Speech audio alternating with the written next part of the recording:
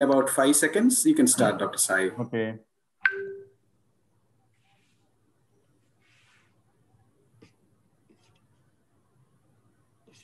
Good evening uh, to all in India. Late good evening to uh, Dr.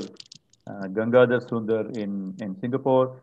And a very, very good morning to, to uh, those in, in the UK and the US. Maybe it's mid afternoon in the UK. Uh, and welcome uh, to this uh, seventh session of our worldwide ophthalmology revisions, which we've planned over three days. Uh, this is the last session, and uh, what a session it's, it's going to be. Packed with legends in the field of oculoplasty, ocular oncology, and tumors. So, what a grand finale we are having. We are indeed very, very happy that you could find time to join us uh, today for this. Uh, and I welcome each and every one of you uh, to this uh, session. I request Dr. Gopal to briefly introduce Dr. Santosh, who is chairing the session, along with Marian, Ani, and Fairooz, and then we will move forward. Thank you so much. Uh, thank you very much, Dr. Sai. I hope you can hear me. I'm Dr. Gopal Pillai. I'm secretary of the Cochin Ophthalmic Club. So this is our program today, star-studded program uh, with uh, uh, Dr. Carol Shields, Damato, Fairooz, Santosh Honavar, Gangadhar Sundar, Michael Kazim, Grover, and Dr. Usha Kim. So uh, Dr. Santosh Honavar, as was already said, doesn't require any introduction in India or abroad. He is a director of Department of Oculoplasty and Ocular Oncology, Center for Sight, Hyderabad, and is a director of the National Retinoblastoma Foundation. He is a former associate director of LV Prasad Eye Institute, Hyderabad, and currently the chief editor of the Indian Journal of Ophthalmology and Indian Journal of Ophthalmology case reports, both of which have grown really uh, very much after Santosh has taken charge. So he is a Senior Achievement Award from the American Academy of Ophthalmology, Shiva Reddy International Award from the All India Ophthalmic Society, Shanti Swarup Bhatnagar Award by the Government of India, Jerry Shields International Award, APAO 2019, and Lifetime Achievement Award by American Academy of Ophthalmology. Ani Sridhar is uh, uh, our moderator. Uh, she would be a senior consultant of oculoplasty and neuro-ophthalmology at Little Flower Multi-Specialty after having MBBS uh, from Thrissur Medical College and MS from Calicut Medical College. Uh, also completed one year general surgery, working in a multi-specialty tertiary care hospital, Little Flower Hospital, Angamali. Started the first full-fledged oculoplasty clinic in Kerala in 2005 and uh, mentored under Dr. Santosh and uh, uh, wife to Dr. Ashok Menon. Dr. Marian, senior consultant and head, oculoplasty, orbit, ocular oncology, and ocular prosthesis at Giridhar Eye Hospital, Kochi. She has MS from the Kerala University and DNB from National Board, two years clinical fellowship, orbit, oculoplasty, trauma, reconstructive aesthetic surgery from Sankara Nethralaya, ocular oncology fellowship from Wills Eye Hospital, US, and passed basic sciences and clinical sciences from the ICO in 2007. Uh, a recipient of the Jai Bhim uh, Chamanel uh, Shah uh, Gold Medal for the Best Outgoing Subspecialty Fellow from Sankara Nethralaya, Chennai, and recipient of Dr. Gangadhar Sundar Award for the Young Oculoplastic Surgeon from Sankara Nethralaya.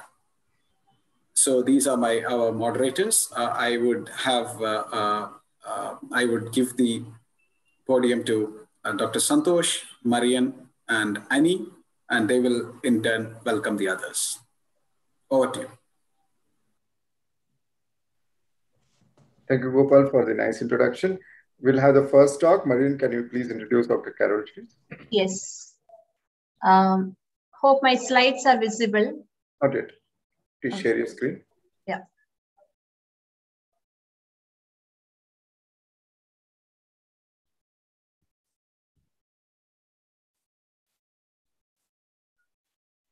Hope my slides are visible. Yes. Yes. Yeah. Uh, good morning and good evening to all. It's my great honor and great privilege to introduce Dr. Carol L. Shields. She is the Director of Ocular Oncology Services at Wills Hospital, Philadelphia, and as well as she is the Professor of Ophthalmology at Thomas Jefferson University, Philadelphia. More than that, she has authored and co-authored 12 textbooks, over 1,400 articles in major journals, and over 300 textbook chapters and over more, more than uh, 700 lectureships. And she is the recipient of many prestigious awards. I'm not going to list out all the things, but the few important things. The Amer American Academy of Ophthalmology Lifetime Achievement Award in 2011. And she is in the ophthalmology power list in 2014, 16, 18, 20, 21. And she's currently the president of Macular Society also. And it's my, uh, it was great honor to be with her for a three months uh, ICF fellowship with Dr. Shields in the year 2017. Over to you, Dr. Shields, for your great lecture.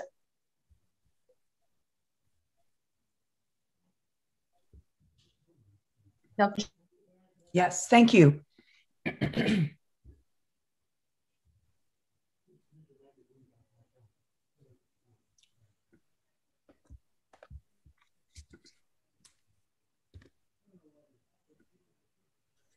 Uh, sorry about this slight delay. I'm just going to get my talk up.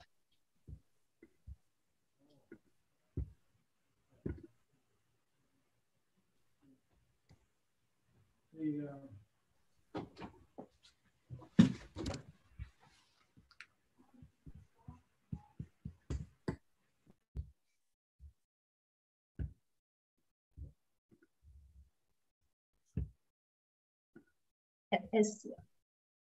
Okay, can you see my screen? Yes, yes, I do it. Okay. Thank you for that nice introduction. It is really a great pleasure to be a part of this symposium. Um, I have no financial disclosures. In the next 20 minutes, I'd like to talk to you about vascular tumors of the retina and choroid.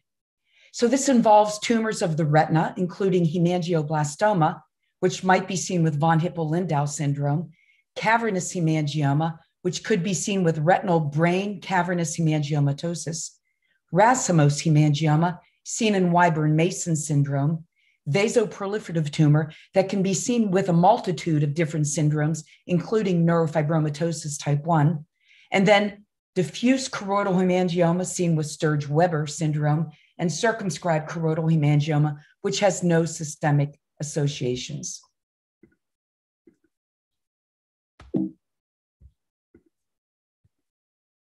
Let's begin with retinal hemangioblastoma. This typically appears as a red orange retinal mass anywhere in the fundus, associated with exudation, subretinal fluid, occasional epiretinal membrane, and cystoid macular edema. As mentioned previously, this can be related to von Hippel-Lindau disease. Now, if a patient has a history of von Hippel-Lindau disease, all they need is one retinal hemangioblastoma to confirm the diagnosis that they too carry the disease. If they don't have a family history of von Hippel-Lindau disease, then they need two or more retinal hemangioblastomas to suggest underlying von Hippel-Lindau disease. And von Hippel-Lindau disease has a multitude of findings, including retinal and cerebellar hemangioblastomas, spinal cord hemangioblastomas, and then malignancies such as renal cell carcinoma. About 50% of patients with this syndrome have only one feature. So, a very nice review was written in the journal Retina 2019 by Dr. Aronow and colleagues on von Hippel-Lindau disease, update on pathogenesis and systemic aspects. This disease is related to the HIF, hypoxia inducible factor alpha pathway. Normally, in normal oxygen, this pathway flows nicely and HIF is degraded. When there's low oxygen, the pathway flows to the point that the HIF persists and stimulates VEGF. Patients with von Hippel-Lindau disease have a mutation in this pathway to the point that they constantly produce HIF alpha, and then that stimulates the development of tumors. It's estimated in the US there are about 7,000 patients with this syndrome. The average age of retinal hemangioblastoma is 24 years, cerebellar tumor 26 years, and renal cell carcinoma 60 years, for a mean life survival of about 50 years. So I've shown you this picture before, but I just want you to understand sometimes the exudation is very subtle, as in this picture, and the fluid is quite subtle.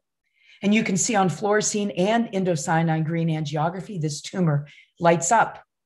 And on OCT, it's within the retina, and it usually causes subretinal fluid or intraretinal edema. It can be located near the disc or in the periphery, And we have many different ways to treat it, including laser, photodynamic therapy, or cryotherapy. For example, here's a small tumor that we treated with surrounding laser, and the patient did well. A little larger, most more posterior tumor treated with photodynamic therapy before showing the subretinal fluid, and then after showing resolution of the subretinal fluid and scarring and fibrosis of the hemangioblastoma. Another tumor located near the disc with exudative maculopathy. This is a very subtle hemangioblastoma showing before with the intraretinal exudation and then after, plus additional anti VEGF because the patient developed an exudative response into the vitreous. But we can see that the fluid in the retina on OCT has responded. Now, how well does PDT do for retinal hemangioblastoma? This was just published by Di Nicola and colleagues in Ophthalmology Retina just this past month, 2021. So we looked at 18 hemangioblastomas in 17 eyes. The mean basal diameter was 3.5 millimeters and thickness 2 millimeters. Exudation, fluid, and edema was seen in most patients. And it took, on average, one to two sessions to completely eradicate the tumor. And post PDT exudative response was seen in 24% of eyes. So you have to be prepared for anti VEGF. Overall, we achieved tumor control in 72% of cases, and the visual acuity remained stable or improved in 71% of cases. So PDT is effective for juxtapapillary and peripheral hemangioblastomas, providing tumor control and visual stabilization, but it doesn't work in all patients. Here you can see a patient on the top showing the OCT before and after with resolution of the fluid, and then on the bottom showing the exudative maculopathy before and after with good results. Here's one who had a scary finding. We did PDT, she got exudative retinal detachment. We had to give anti VEGF, and then all settled down. And you can see her OCT settle down too. And she remains under control to this point. Now, Hess et al. has published on systemic findings with von Hippel-Lindau. They are numerous, including retinal, inner ear, cerebellar, liver, pancreas, adrenal gland, kidney, and epididymis tumors. So these patients need a systemic oncologist to oversee them. And Mary Aronow looked at the genetic mutations in von Hippel-Lindau. Three of the four different genetic mutations in, include retinal hemangioblastoma. So when we see a patient with retinal hemangioblastoma, we always send them for genetic evaluation. Now, I pause for a second. There is new information on a new therapy for retinal hemangioblastoma and other tumors in VHL. And this new therapy is called belzutifan. This was just released at ARVO 2021. This is an oral medication, 120 milligrams per day. It's a HIF hypoxia inducible factor blockage. It blocks HIF 2 alpha from converting into HIF 1 beta. And here you can see one of the cases in the series. This patient had a retinal hemangioblastoma with vitreous fibrosis. After six weeks, it looked no better. But after 49 weeks, the tumor was undergoing involution. Case number 11, again, baseline, it's a classic hemangioblastoma. Week 13, it's getting a little bit more regressed. And week 40, it's regressed beautifully. You can imagine just putting a little laser on that tumor to control it permanently.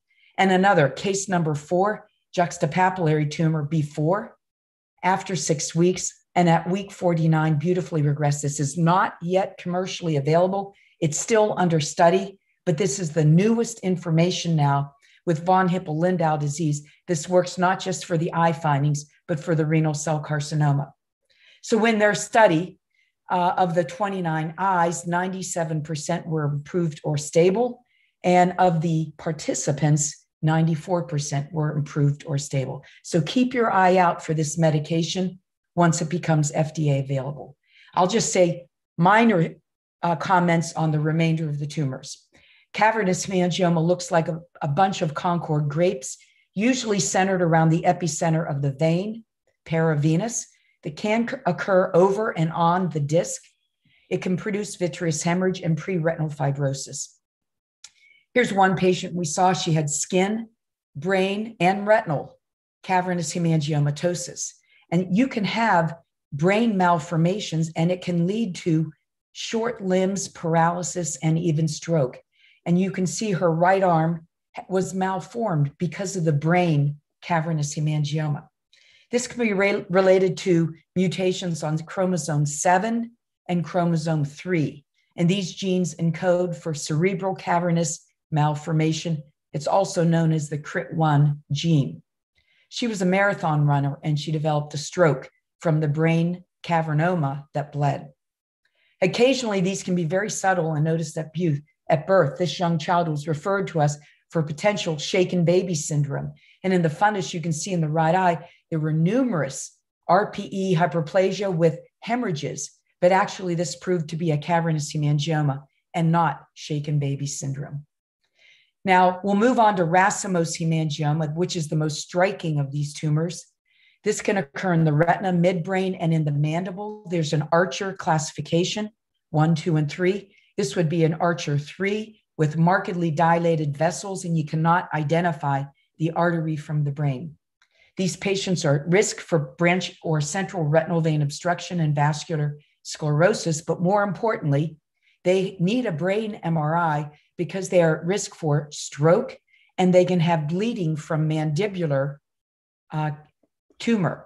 Here's an unusual case that uh, came from India, Kaliki et al., where they showed a patient who had bilateral epipapillary racemose hemangiomatosis. And then you can see here on fluorescein angiography the extent of this racemose hemangiomatosis at the optic disc, which is untreatable.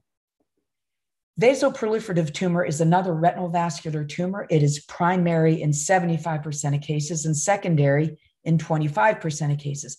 This looks a lot like hemangioblastoma, except there's no dilated retinal vessels.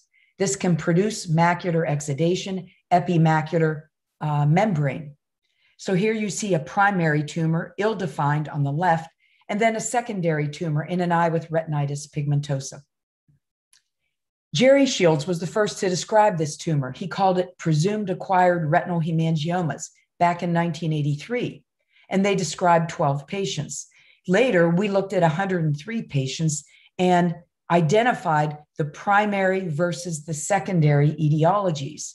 And the secondary etiologies include, most often, retinitis pigmentosa pars planitis, toxoplasmosis toxocara, Coats disease. And then later, we looked at 334 cases and we identified that the tumor can be primary in 80%, secondary in 20%, and the secondary vasoproliferative tumor is more often bilateral, multiple, larger in young children with poor vision. So, an interesting tumor with lots that we have learned over the years. Here's a plate of six primary tumors. Notice how ill defined this tumor is and it produces sectoral exudation. Here's one that we that had um, exudative retinal detachment that we treated with cryotherapy before and after showing the scarring with resolution. And another one in an artist who had a large vasoproliferative tumor, exudative retinopathy, not yet at the macula, treated with photodynamic therapy. Lastly, we'll finish with choroidal vascular tumors. Choroidal hemangioma tends to occur in the Sturge Weber syndrome. It's usually diffuse, and these patients come in with nevus flammeus, rubrochoria, that is red pupil, and they can have glaucoma, choroidal hemangioma, and retinal detachment. There's a multitude of fe- features with this syndrome also seizures, hemiparesis, hemianopia, headaches, developmental, developmental delay, glaucoma, and what we deal with, choroidal hemangioma in 40% of cases. This is the most difficult to see tumor in the fundus. You look in the fundus, it looks red, but you don't really see a tumor until you do an ultrasound. This tumor can produce total retinal detachment and it's best imaged on ultrasound. There's the tumor. And here's the ultra, uh, OCT. You can see in this time domain OCT, the choroid is elevated, depressed, elevated. There's a tumor in the choroid, and the retina is folded upon itself with subretinal fluid. We have a few management options for this, but we strongly prefer low dose plaque radiotherapy. It's one and done treatment. And here you can see we've marked the tumor on the episclera. We place the plaque under the muscle. It gives a dose of 30 gray or 25 gray to the apex. That's low dose. And here you can see before the echo dense diffuse choroidal hemangioma and after it's completely gone and the retinal detachment is gone, leaving RPE alterations. In another case, before you can see the retinal detachment inferiorly, and then after low dose radiotherapy, the detachment is gone and the tumor has involuted. We have never seen recurrence after plaque radiotherapy for choroidal, diffuse choroidal hemangioma. And Arepalli et al. has published on this in the journal Ophthalmology. Last, we'll say a few words about circumscribed choroidal hemangioma. Again, this is another one of these difficult to detect, often misdiagnosed tumors. It's an orange mass deep to the retina, and it almost always measures the same size six millimeters in base, three millimeters in thickness. It's not bigger, it's not smaller. Here you can see the average echo dense ultrasound, and on fluorescein, it tends to has a, a lacy, early, and bright uh, fluorescein uh, angiogram. We looked at indocyanine green angiography of choroidal tumors, and the only tumor that stands out as different is choroidal hemangioma. It's the only tumor that fills rapidly and early and then has a late washout. Later, Arevalo et al. looked at a series of 25 choroidal hemangiomas using ICG. And he found these show hyperfluorescence usually by 27 seconds up to 222 seconds. So it's early, usually by one or two minutes. They're very hyperfluorescent. And here we see the washout occurs later on, late after the, the dye leaves the eye.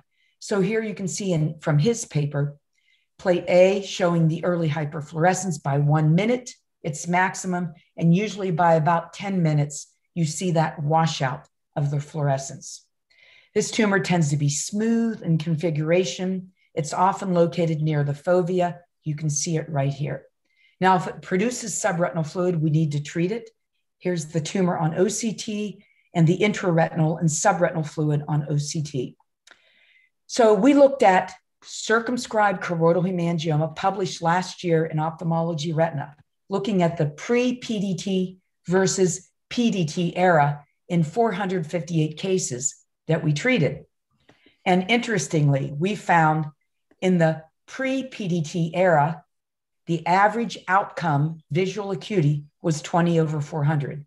In the PDT era, the average visual outcome is 20 over 63. So PDT protects vision better than the pre PDT uh, alternatives. So we PDT these tumors if there is vi- uh, vision threatening fluid. So you can see in the top panel, there's the tumor we treated with PDT.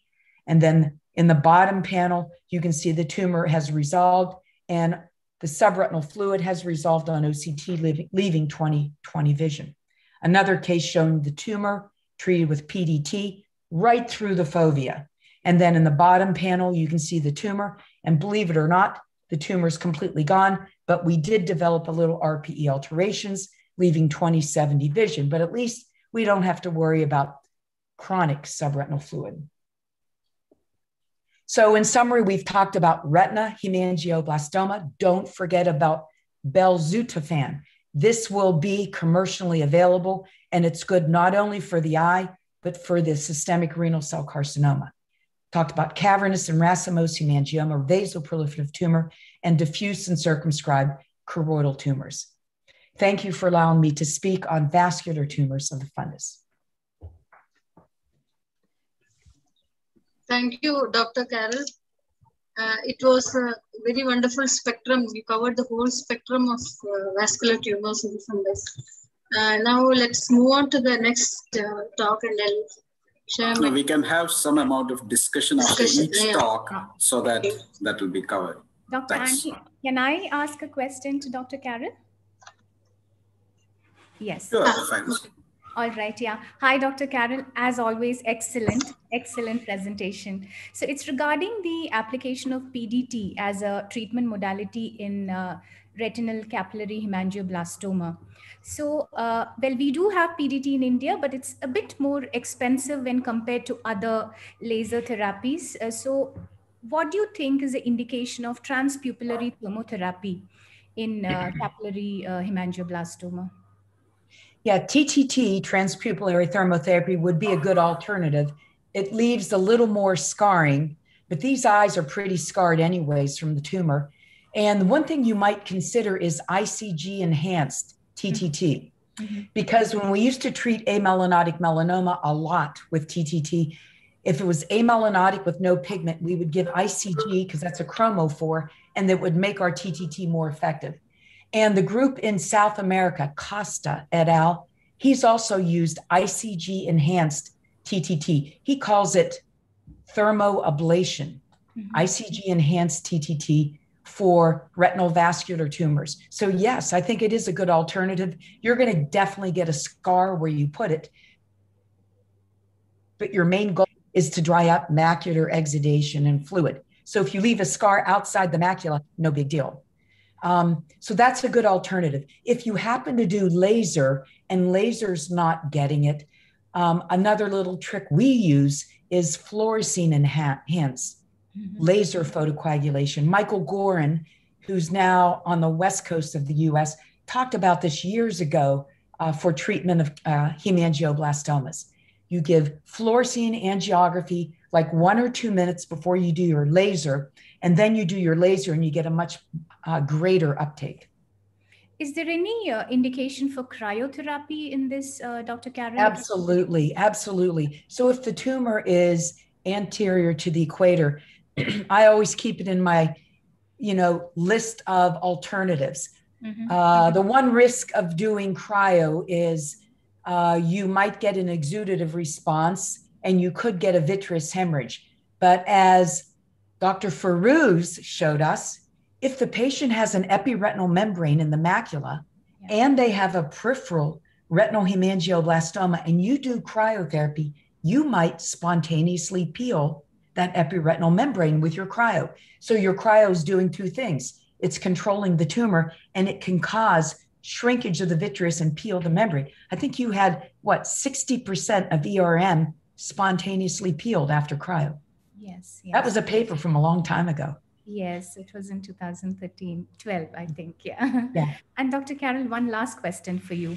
Uh, what is your experience with oral propranolol in choroidal hemangioma, be it diffuse or uh, circumscribed?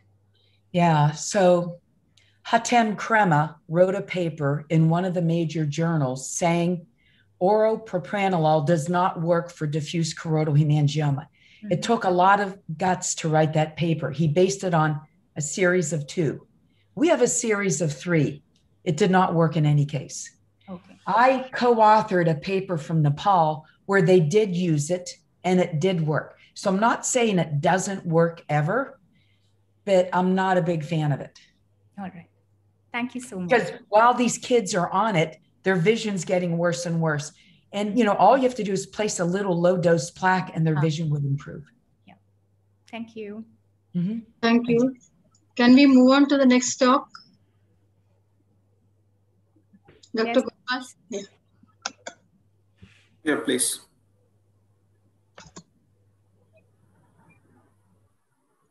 If there aren't any other questions, are there any other points to discuss by any one of you? Dr. Santosh? Dr. Grover is here. Hi, Dr. Grover. Good evening. Dr. Damato? You. Nice Any other points to discuss? I think we covered everything. Yeah. Okay.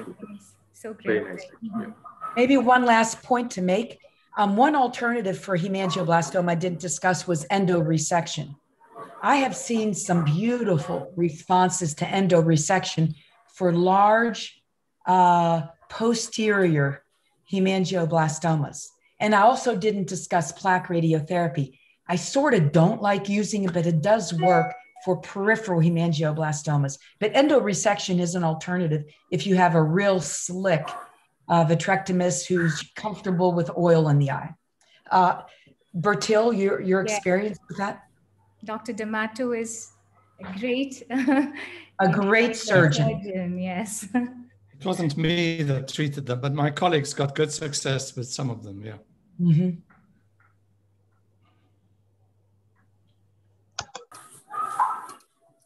Yes, I think uh, then. Uh, can, can, you see on. my slide? I can't go into the. Uh, Pravina, can you share the slides, please? Next. Pravina, can you share your slide? Thanks.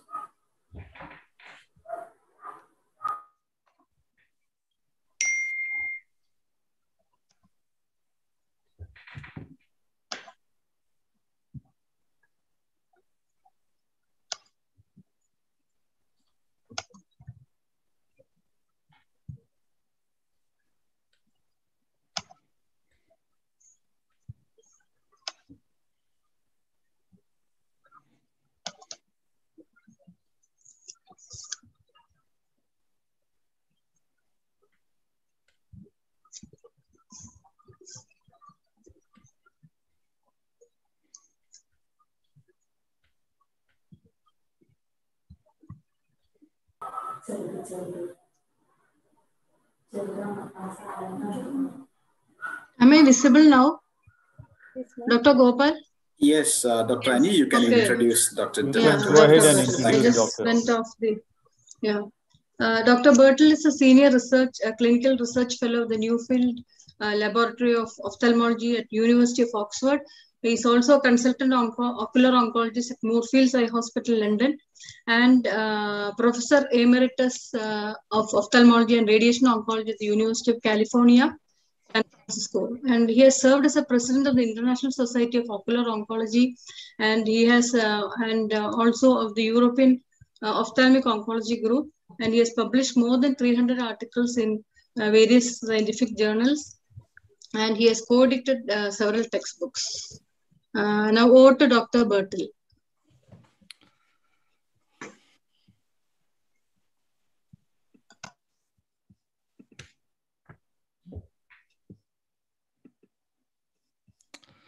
Hello, I'm delighted to be here. Can you see my title slide? Yes, sir. Yes, sir. Yes. very much. Yeah. Um, um, this meeting is reminding me of a wonderful time we spent in Kerala when our son, as a medical student, was studying in India. So okay. that's great. Yeah. So I'm going to give a quick update on uveal melanoma. And um, presentation age is usually around the age of 60, although there's quite a wide spread. And in our series, the male-female ratio was about one to one. About 90% of uveal melanomas involve the choroid, and the rest arise in ciliary body and or iris. Predisposing factors are congenital ocular melanocytosis, melanocytoma, and recently uh, the BAP1 tumor predisposition syndrome.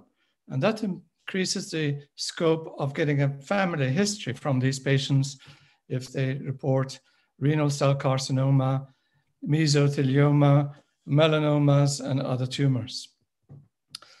Advances have occurred in imaging, wide field imaging, and anterior segment imaging have greatly improved the management of these patients. Fluorescence imaging, um, angiography, ICG to differentiate from other tumors, and especially autofluorescence imaging that shows up lipofuscin pigment on the surface of these tumors. Ultrasonography continues to improve, A scan, especially B scan, and OCT, especially EDI OCT, has really improved the imaging of small posterior tumors. Biopsy techniques have advanced not only in the surgical theater, but also in the laboratory. The immunohistochemistry, the genetic studies have greatly improved over the years. Now, Carol and Gerald Shields have devised the TFSOM system for differentiating choroidal nevi from melanomas And that's extremely important. It's, it's really transformed the management of these patients around the world, and it's a very, very valuable tool. It requires, however, OC um, ultrasonography, which um, optometrists and ophthalmologists in the community may not have access to. And therefore, I've designed the MOLES acronym to help distinguish choroidal moles, nevi, from melanomas. M for mushroom shape, orange pigment, L for large size, E for enlargement, and S for subretinal fluid. And this helps um, non-experts to distinguish choroidal nevi from melanomas to some extent. And then when they see a specialist with ultrasonography, then they move on to the TFSOM system, which is great. Treatment. The big question is, does ocular treatment influence survival of patients with uveal melanoma? And if so, in whom? That's been a matter of debate for centuries. But here's a patient who greatly influenced me. This was at a time when it was believed that ocular treatment did not influence survival. And so we watched this patient because she had diabetes and radiotherapy would have affected her vision. And after several years, her tumor suddenly grew. So we removed the eye and we did genetic analysis on the base of the tumor, the old part of the tumor, which showed no lethal mutations, and the apex of the tumor, which showed very dangerous mutations associated with metastasis. And after this case was published, this patient developed metastasis and died. And so this one case convinces me that in, at least in some cases, early treatment may prevent metastasis. Now we'll speak about the different therapeutic modalities, focusing on the advances. Transpapillary thermotherapy, really good for small tumors, accepting that it's not as reliable as radiotherapy, let's say very elderly patients and so on, on the understanding that we might need to give radiotherapy if the tumor recurs.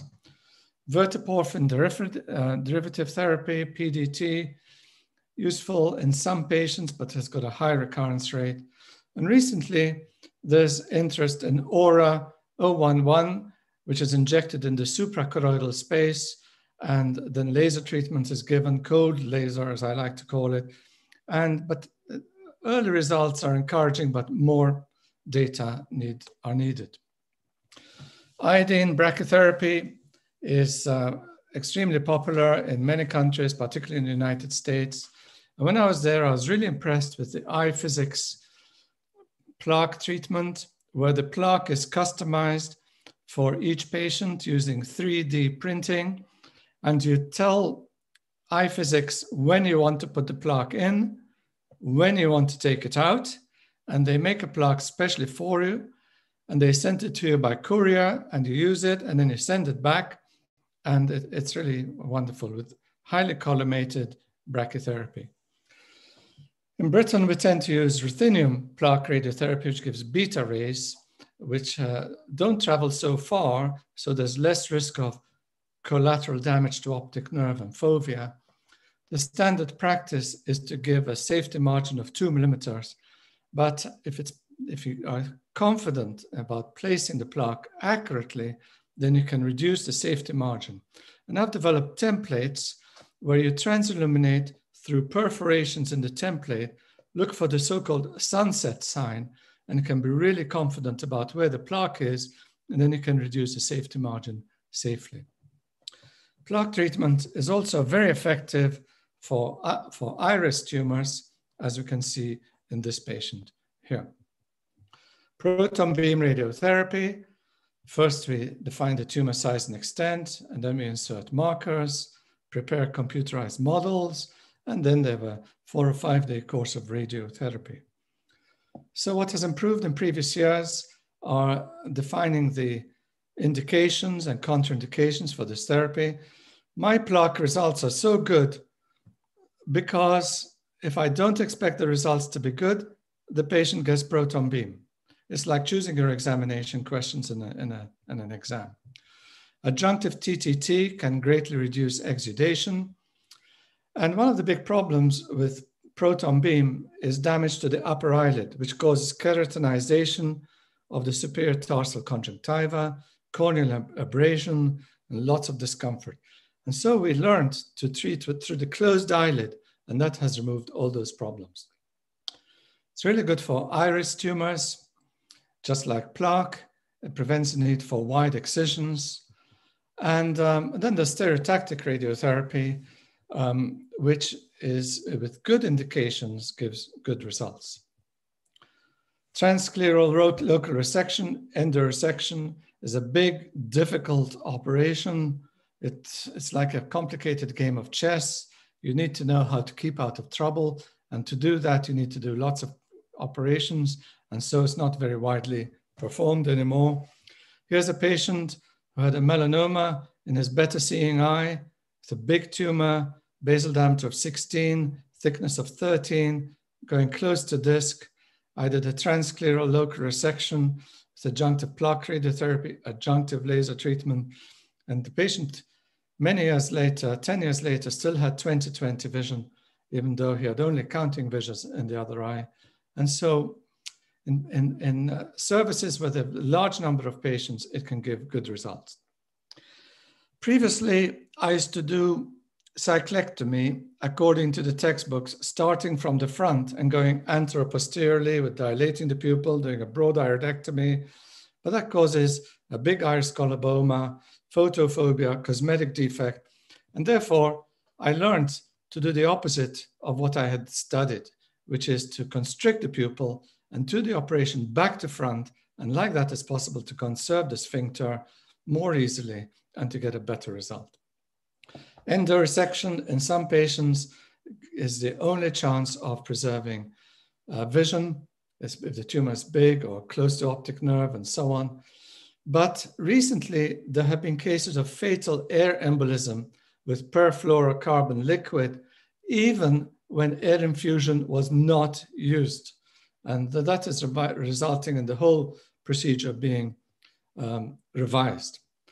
Enucleation advances, well, uh, personally, I moved to hydroxyapatite and then I moved away from hydroxyapatite to acrylic, much less expensive with equally good results, but others give good results with hydroxyapatite. Follow up, really important. Wide angle imaging has really made it easier to notice recurrence in many patients without ultrasound and before we used to treat radiation retinopathy in one big basket with laser treatment. Now we have learned to distinguish between collateral damage to optic nerve and fovea and lens, and we've learned to distinguish that from toxic tumor syndrome, where you get a radiation vasculopathy within the tumor causing exudation and relief of angio, release of angiogenic factors. So if it's mild, you can treat with anti-angiogenic therapy, or else you can give TTT to the tumor to reduce the exudation. Or if it's too extensive for that, you can remove the toxic tumor either by endoresection or by transscleral resection, as in this patient. This patient had a big tumor, treated with proton beam, got retinal detachment, neovascular glaucoma, pressure of 50. He had a CVA a history of CVA, ischemic heart disease, arrhythmia was a warfarin, but it was his better seeing eye. So I did a transscleral resection. The next day, the retina was flat. And over the next few months, the rubeosis, the neovascularization disappeared. We were able to stop the glaucoma drops and did very well. Next, we come to prognostication. The standard method in all cancers is the tumor node metastasis staging system. But this is based only on anatomic predictors. And the problem is it does not take account of, of histologic and genetic predictors. So the important histologic predictors are the melanoma cytomorphology. If you've got epithelioid cells, a much worse prognosis. And then you've got the, you've got the extravascular matrix patterns, the closed loops, and the mitotic count. And these are all correlated with increased mortality. Now, as long ago as 2007, I showed that, that the prognosis is worse if you've got chromosome 3 loss, especially if you also have chromosome 8q gain in the tumor. And um, this is now widely accepted. In the States, um, gene expression profiling is very popular, really because you need a, such a tiny sample that you can't even see it when you look at it under the microscope in the operating theater. And uh, that is proving quite uh, popular and, and valuable, especially taking into account the PRAME mutations. And then there's the BAP1 loss, which is associated with a high mortality. And it's possible to detect this with immunohistochemistry, which is really, really valuable. And, um, and at UCSF, we found that next generation sequencing is really good because it gives a lot of information on many, many genes. And that is becoming uh, more popular more widely. But it's really important to combine all the previous, all the known risk factors in a statistical fashion, taking account of different forms of bias, competing risks, missing data analysis, and so on. I know the Shields have developed a premium model, which is great, but in Liverpool, we developed LUMPO, the Liverpool Uveal Melanoma Prognosticator in line, online. And that provides really good estimates of the prognosis, also taking account of the patient's life expectancy. With regards to screening for metastasis, um, we have been using MRI in highly selected patients with chromosome 3 loss. And this graph shows how effective this strategy has been at detecting patients with metastasis before symptoms develop. There are other methods there's CT, PET scans, but they expose patients to radiation. And if you repeat those scans every six months for many years, then you expose the patient to lots of radiation. Ultrasound, with an experienced ultrasonographer, you can get good results. Uh, liver function tests only become abnormal in terminal disease, and not very helpful. And chest x-ray also is not very helpful in the first instance, although oncologists like to perform that. With regards to treatment for metastasis, um, systemic chemotherapy has not worked very well. Liver targeted therapy has been better, especially with partial hepatectomy and um, intrahepatic chemotherapy with melphalan and the isolated liver perfusion has, has given good results. Uh, immunotherapy has tended to prove disappointing on the whole, with some exceptions, because uveal melanomas are much less immunogenic than cutaneous melanomas because they've got a lower mutation rate. There have recently been some very encouraging results with tebentafusp, which is a sort of, it's not a molecule, it's a sort of nanoparticle that grabs the lymphocytes, grabs the melanoma cells, brings them together so you get lysis of the melanoma cells. And those results are very encouraging indeed. So in conclusion, there have been great advances in recent years in imaging, biopsy, immunohistochemistry, genetic studies, treatment, prognostication, screening, and treatment for metastasis. And we can expect even more progress to occur in the next few years. I'd like to thank my colleagues. Um, and I'd like to thank you for your um, attention. Thank you very much.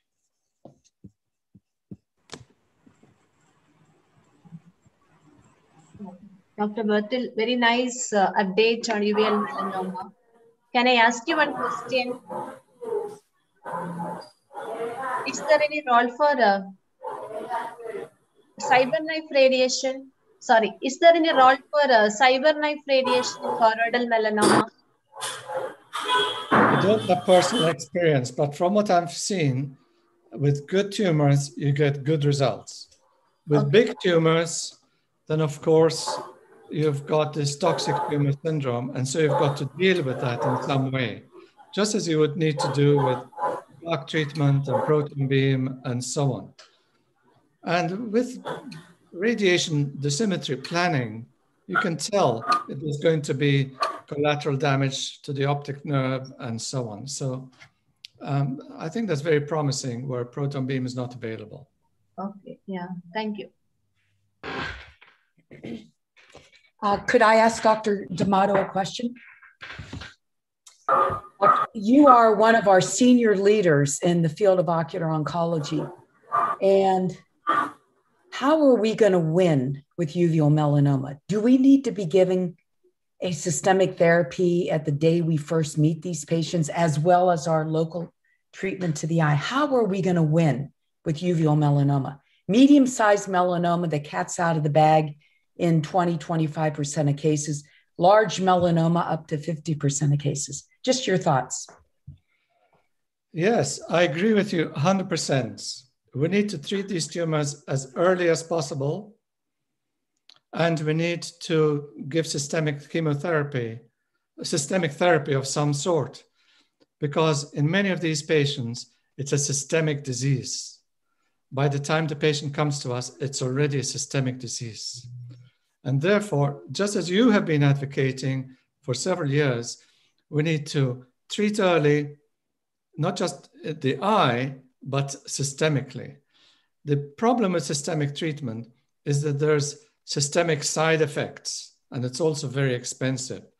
And therefore, that's why we need to try to get more information as to whether the tumor has metastasized yet or not, or whether it has metastatic potential or not. And that's why, as you've been doing, it's important to biopsy these tumors as often as and as early as possible so that we know whether they are lethal or non lethal. And hopefully, um, we're also be, going to be able to look at liquid biopsies to, to, to avoid the need for doing a biopsy on these very small tumors. I've been very fortunate to work with retinal surgeons who can biopsy really tiny tumors. But in many places, that's beyond the abilities of the surgeons there. And so hopefully there'll be liquid biopsies more generalized before soon. So I have a question uh, related to the same discussion that we are having here to Dr. Carol as well as Dr. Damato.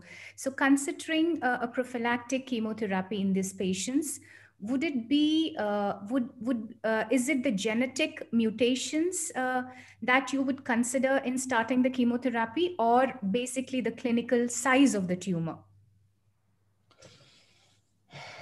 That's a that's a difficult question because monosomy 3 and i've tended to focus on monosomy 3 i come from that camp the cytogenetics camp. Um, if you've got monosomy 3 you're guaranteed to get metastatic disease if the tumor is big. With small tumors, we see patients with monosomy 3 who are still alive and well after many years. But we don't know whether that's because of lead time bias. So we don't know whether in a few years' time they will go on to develop metastatic disease uh, or whether we have actually prevented metastatic disease in some patients with small tumors with monosomy 3. But We don't know if there's a window of opportunity after the development of monosomy 3 and before the metastasis commences. I'd be interested to know what Carol says. Yeah, so we just um, we just published in the Indian Journal of Ophthalmology a series of a thousand cases that we had sampled for genetics, and uh, 50, 65 percent have disomy 3 and disomy 8, or maybe a little mutation in 8. So those are the patients we would consider maybe more low risk. So 30, 35% are high risk. They have monosomy 3 plus minus 8q mutation. It's that group, Dr. Fairooz, that I think deserves systemic therapy. And we've talked to Immunocore, and I know that Dr uh, Damato is working with them. We think Immunocore is the only immune therapy that really works for uveal melanoma. We think, and we don't know how many cycles, but we think these patients should receive some exposure to Immunocore to see if maybe we can reduce metastatic disease in our high risk patients who are genetically tested. I think we need to start with really good science uh, as our basis for who we select for systemic therapy, and then say, okay, in our highest risk patients, if you give them six cycles of Immunocore, this is their outcome. I, I really think that we are moving that direction. Immunocore already knows that We've talked to them about this. Yeah. And so the size of the tumor, the presentation doesn't have any uh, relevance, Dr. Carol. So Martine Jager did a beautiful analysis where she looked at uh, AJCC plus cytogenetics, and she found they both play a role. So I do think tumor size does play a role, but the, I, the most profound role is cytogenetics. So I think if we start with that, that's the kind of like the simplest, cleanest way we can select high risk and then uh, treat them. Immunocore is not without, you know, side effects, and some of the side effects are really rough, but it is the, the one therapy that we've had the most experience. And Bertil skipped over a beautiful slide in his presentation where he looked at it was just a small cohort of patients who had immunocore as therapy for systemic metastasis compared to 900 patients who had all other types of therapies. And at two years follow up those that had all other therapies only like 20% were alive whereas those with immunocore it was like 60 70% were alive at two years so there is a little bit brightness on the horizon with this one medication that is very specific for uveal melanoma. So that's very good news. It is. And I just hope the drug company will be able, will allow us to trial this medication. Right. All the best. Mm-hmm. Uh, is there any other questions or uh, can we move to the next talk? May I ask one question? When you said uh, fluid biopsy, would you actually mean vitreous cytology? No, I was referring to a blood sample. Okay. With other tumors like retinoblastoma, um, liquid biopsies are showing great promise. And so hopefully we can do that with uveal melanoma sooner rather than later.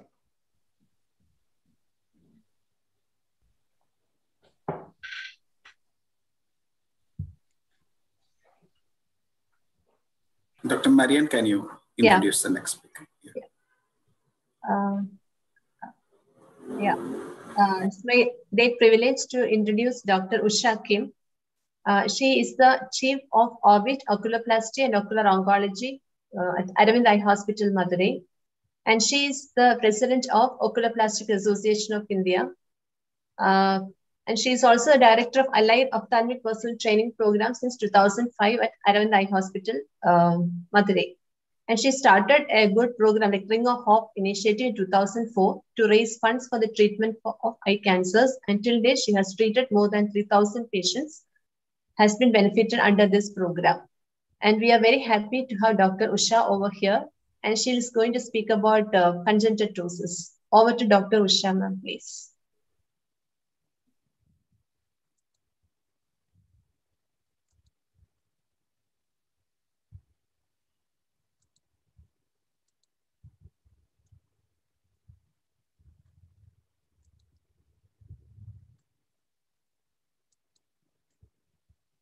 Is it visible? Uh, Not yet. Not yet, ma'am. Just came Not and yet. went off. Sorry? Uh, it came and then went off. Yeah. So should I just stop and start again? Madam, are you in the last slide in the presentation? I mean, no, you are I'm in the first slide. Yes. Okay. Uh, okay. Okay. Share. Yes. Yeah. But do you see the full screen? No, ma'am. Please no. make it full screen. Yeah. I'm trying to put it on. Uh, uh, madam, that is what I'm telling. I think uh, in the full screen mode, you are in the last slide of the presentation. So maybe you can uh, just open the first slide again and then share. This is the one. It says sorry. Uh, with, without sharing, can you make it full screen and see whether it's the first slide or the last slide without sharing? So this is the first slide. I'm on Uh, it. can you, did you make it full screen? Uh, I Just try to make it full screen. visible now. No, no, now you're not shared. Okay, so I'm going to. Uh, This is the first uh, slide which is in full screen. yes, I'm sorry. No, no, absolutely not. No problem, ma'am. Right. So I'm going to Share it. Yeah now share and Come to the presentation. sorry. So this is the one. You stopped sharing now. Yeah, now you've shared. Very Yeah. good. Yeah. Is it full screen and it's not in the presentation mode yet. Yeah, Uh, I'm trying to do this. Okay. yeah, Ah, yeah. very good. It Now it's come. fine. Yes. all those glitches for such an unfortunate soul. I have to, should I say, I'm very fortunate to share a platform with the two uh, legends, or should I say, I'm very unfortunate to follow them after their wonderful talks. I think it's an extreme honor for me to be following such great, eminent speakers. But uh, what I really would like to uh, bring to your attention is I'm going to be shifting gears completely and going to take you through uh, to something very, very uh, simple, but yet very challenging because it's not life threatening, but it's vision threatening. First, let me thank uh, the Cochin uh, Ophthalmic Association and Dr. Santosh and all those who have put together this program because it's such a treat. It's like having a feast all in one go. Thank you so much again for this opportunity. Now, looking at congenital ptosis, why has it been uh, actually sandwiched in such an intensive course where it's all about life? Well, this congenital ptosis could be a cause for a loss of vision. So it actually results from a developmental dystrophy of the levator palpebrae superioris muscle. Now, you could have just a simple uncomplicated ptosis, which is easy to manage, or you could have a ptosis with superior rectus weakness, blepharophimosis syndrome, part of a big syndrome, synkinetic ptosis, which could manifest as a Marcus-Gunn syndrome, or it could be as a result of a misdirected third nerve. Now, in cases of simple ptosis, as you can see here, this is a simple ptosis, and you can see an other eye, other eye lid, upper lid retraction. You can see bilateral situations, but yet they are all simple ptosis of varying degrees. You could see mild, moderate to severe. All of these types of ptosis are a visual threat to the child. So it's very, very important for us to manage these children very effectively. Now, on the other hand, we have another challenge where there is an elevation deficiency, which may not allow us to correct the ptosis completely. It could be a part of the syndrome where you have, this is the blepharophimosis syndrome, which could be autosomal dominant. You have a vertical and horizontal uh, fissure narrowing along with epicanthus inversus, telecanthus, and all of these put together, managing it is going to be very difficult. Marcus-Gunn phenomenon is yet another challenge where you see a ptosis and then when the patient opens the jaw moves the jaw from side to side, there is a flutter of the upper eyelid. And again, a challenge because it's going to be a cosmetic blemish for these patients. Congenital third nerve is not very common, but yet we, so, we do see cases of these uh, third nerve palsies. So in a case of a congenital simple ptosis, what is the option that we have? The congenital simple ptosis with a very poor levator action, the one and the only option is a frontalis sling procedure. And uh, there are n number of modifications. I think everyone who's come across a case of a congenital ptosis has a different way of managing these. So we have double triangles, you have rhomboids, you have pentagons, you have uh, double uh, rhomboids, all of these that have been tried. But what I would like to emphasize is it all depends on the individual choice and the perfection in that particular type of surgery. So there has been a vast improvement and evolution of the materials that have been used from fascia lata, which still stands as the best and the gold standard. Preserved fascia lata has been used. Non-absorbable suture materials have been tried. Mesh has been tried. But there is also a material silicone sling which has been tried over the years. And now, when do we do this frontalis sling procedure is, is done when the levator action is less than four millimeters. There is a little uh, controversy about four and five, but I, I would prefer that we do a frontalis sling when it's less than four millimeters. That is when the levator action is less than four millimeters. But it's contraindicated when Bell's is poor and when there is a reduced corneal sensitivity and poor tear production. So now we can just look at the procedure, the different steps where you have markings made above the brow. And this is the simplest procedure. And uh, what we need to do is once the incisions, it's in the form of pentagon, is made, you're passing a silicone sling material through each of these incision sites and uh, you're bringing out the sling. So this is a simple needle which can be bent to your convenience and passing through each of these incision sites, bringing it out through each of these incision sites and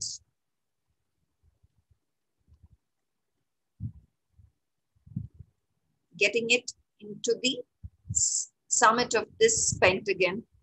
This is the Fox pentagon method that we follow. We had been using fascia lata earlier and uh, suture materials, but now we've started using the silicone material, which is very simple. Now you can simply pass it through the sleeve and titrate the height of the lid based on the requirement. You cannot compare it, so you place it on the uh, upper limbus and then bury the sleeve conveniently into the tunnel that's been made and apply a frost suture here to close the lid to remove the subsequent day. And the results are remarkable. This is unilateral ptosis, post, pre and post correction, and bilateral ptosis, pre and post correction.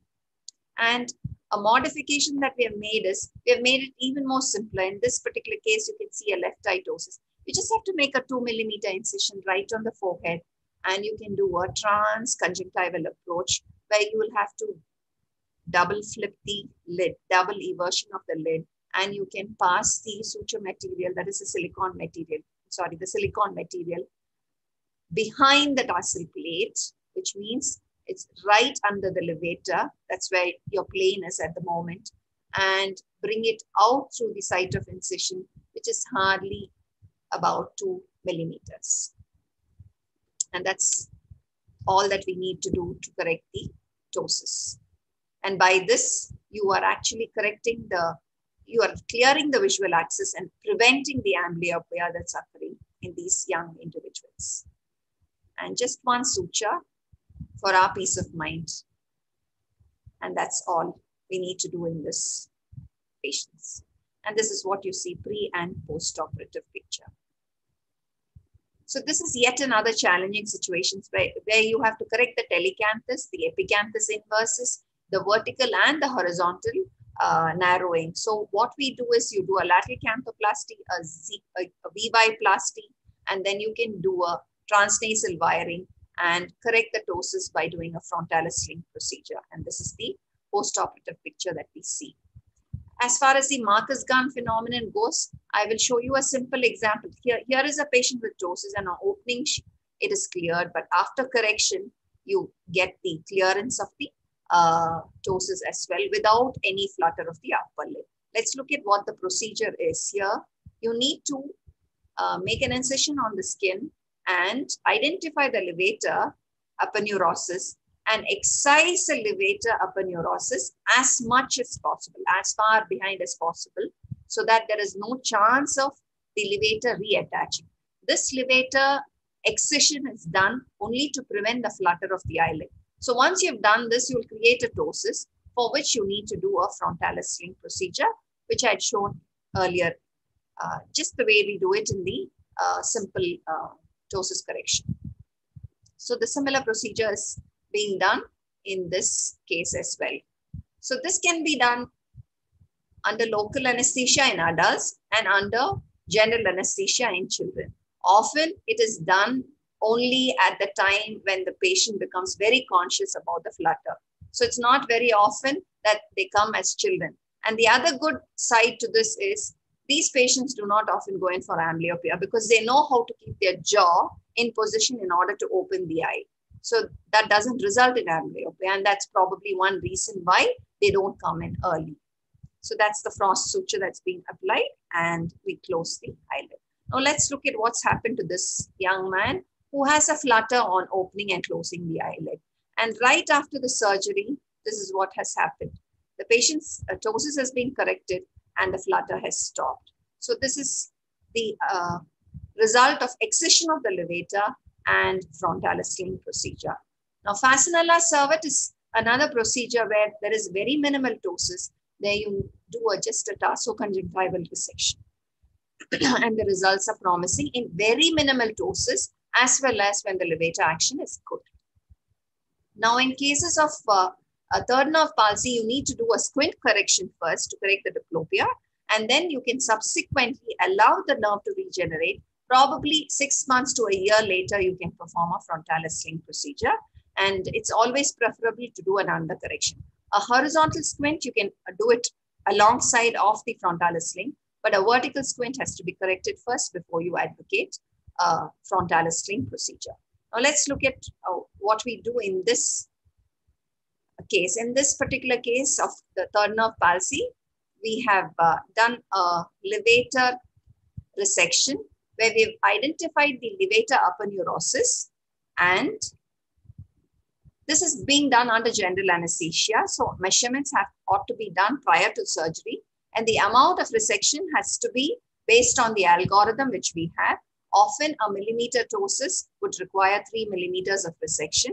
And once we identify the aponeurosis, we have to dissect it anteriorly and posteriorly.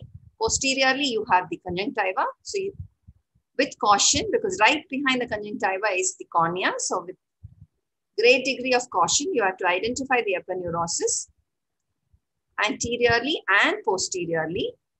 Anteriorly, you have the fat, as you can see, and posteriorly is the conjunctiva. Once the adequate amount of uh, levator is uh, dissected, you need to reattach it to the anterior portion of the tarsal plate using absorbable sutures, especially Vicryl 60 suture.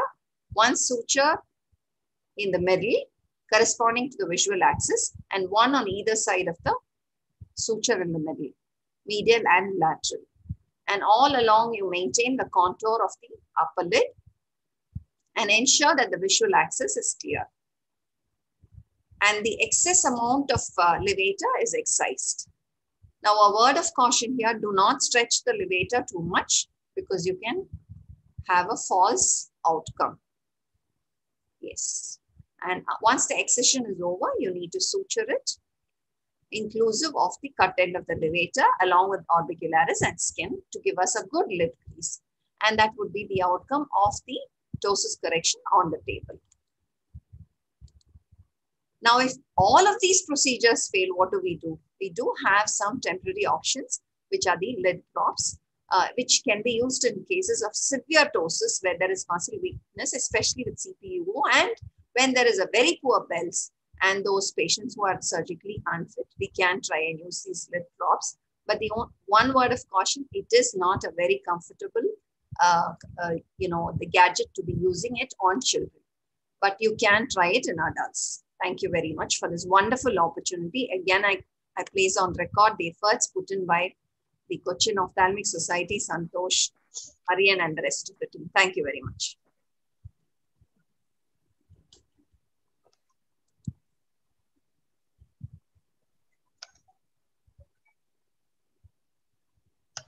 Thank you, Usha, for a wonderful talk. Uh, are there any comments by anybody else? Ganga, Dr. Grover? Uh, Dr. Santosh, uh, no, uh, Dr. Usha, uh, is, uh, is a 4 millimeter, more than 4 millimeters, can you do a levator section, 4 to 7 millimeters, or would you prefer sling, you said? Yeah, so that's a very, very tricky question. Tricky question you have nailed me here actually. I think it's a very, very difficult and challenging situation because this four to six is a very tricky uh, functional unit. most of the times we try to uh, do a levate, maximal levator resection or you can do an internal sling. But when I, uh, when I go in favor of a sling, I would prefer an external sling because it's far more easier. But between four and six, you can always try a maximal levator resection. That's yeah, then, yeah, you can counsel the patient and tell him you may have to do it again and then you can repeat. Yeah. And, and uh, do you do you feel that uh, long term the sling has slipped and should you fix it to the tarsal plate? Yeah, so it, I think uh, I started way back very early using this silicone material and I somehow I've had very good success with these cases. Not to say that I've never had slipping of these slings, but I've never had to suture it to the tarsal plate because the very fact that you suture can cut through. That's number one. This is in my hands. I must uh, accept that. And the other thing I wanted to emphasize is there is a, some amount of inflammation caused by this material, which itself acts as a band and uh, does not allow the slippage. Yeah, but uh, in cases which has slipped, uh, I have seen that it's uh, slipped uh, yeah. up so, to even up to the Whitnall's. So yeah. when, I don't know. When you have a slippage, the easiest thing for us to do is you can remove it and redo it, or because the incision sites are very, very, very, very minimally sized. One, or if you can reattach it, you could probably do it. But I feel it's best to redo it if the effect doesn't sustain. But most often, since the inflammation is there, there is a band associated which helps actually in sustaining the effect of the skin. So may I comment on these two aspects? Yes, sir, please. Yeah.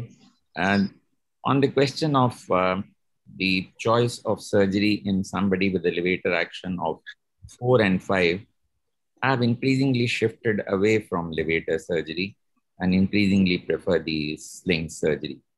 But even when I get a good attachment to the uh, ligament and can do a Whitnall's sling, the initial results are usually very good. Intraoperative results are very good, but the long-term results tend to be they, they need there is often a regression of ptosis, which um, then requires another procedure, and we need to take undertake a sling. But um, and that is why I would not usually now do a levator procedure with the levator action of six, less than six, five or four. I would not do. Here, here, I just want to comment one thing, sir. When I was, I think I'm maturing now, and I think you've uh, reached the state of highest maturity. No old is bold, and no bold is old. So I think we've all uh, evolved out after having burnt our hands. And I, I do agree with you. Now I think I tend to uh, drift more and more towards the sling.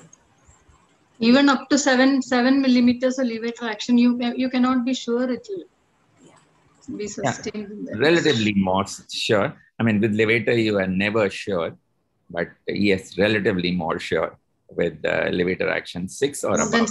I would happily do a levator surgery even though it will be close to a Whitnall's for a six, Whitnall's sling for a six millimeter ptosis.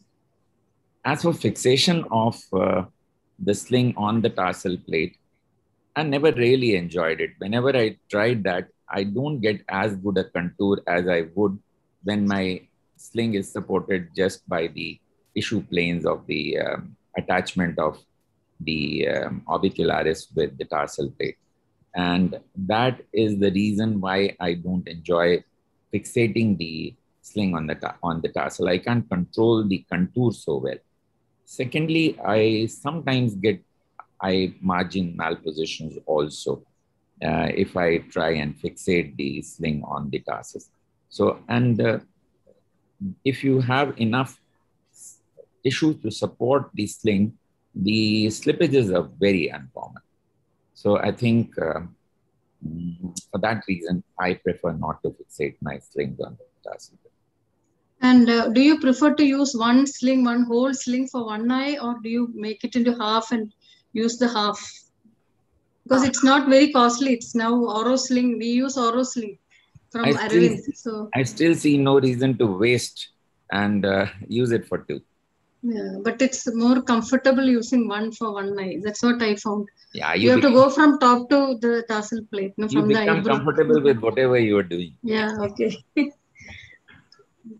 I, I, I think I'll speak for myself. I use one per thing, but then as uh, Sir was mentioning, it's totally up to the surgeon to uh, decide. And there is a there's always a generation gap. We they uh, the seniors always tend to preserve whatever is possible and conserve and use the uh, make the maximum out of whatever is available. Whereas we try to maximize our comfort levels and I'm in that category of maximizing comfort level. So I use one sling per case. Oh, one, one case.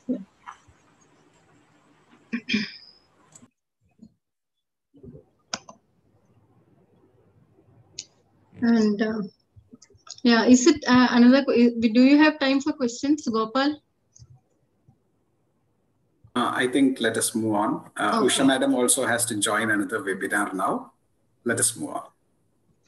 So I'll be introducing uh, Dr. Fairooz, uh, who is uh, livened the oculoplasty scene in Kerala since the last few years. She is the founder director of uh, uh, Horus Specialty Eye Care Center, uh, which is a one-stop specialty eye care center in Bangalore. And we are glad that she has she's so near and we can refer patients to her actually and uh, she has uh, uh, finished a fellowship with Dr. Carol Shields in Wills Eye Hospital, Philadelphia. And she is she's known for her work in retinoblastoma, and she is a multi-talented person. And she has won various Academy Awards at such a young age, uh, including the American Academy of Ophthalmology Achievement Award and Asia Pacific uh, Academy of Ophthalmology Award. And, uh, and she's always there to help us in I always call her for help. uh, I earlier used to call Dr. Santosh, but he's now too busy. Uh, so in my oncology cases. Okay, now over to Dr. Fairooz. Thank you, Dr. Ani, for this uh, kind introduction and kind words. I'm going to share my slide here.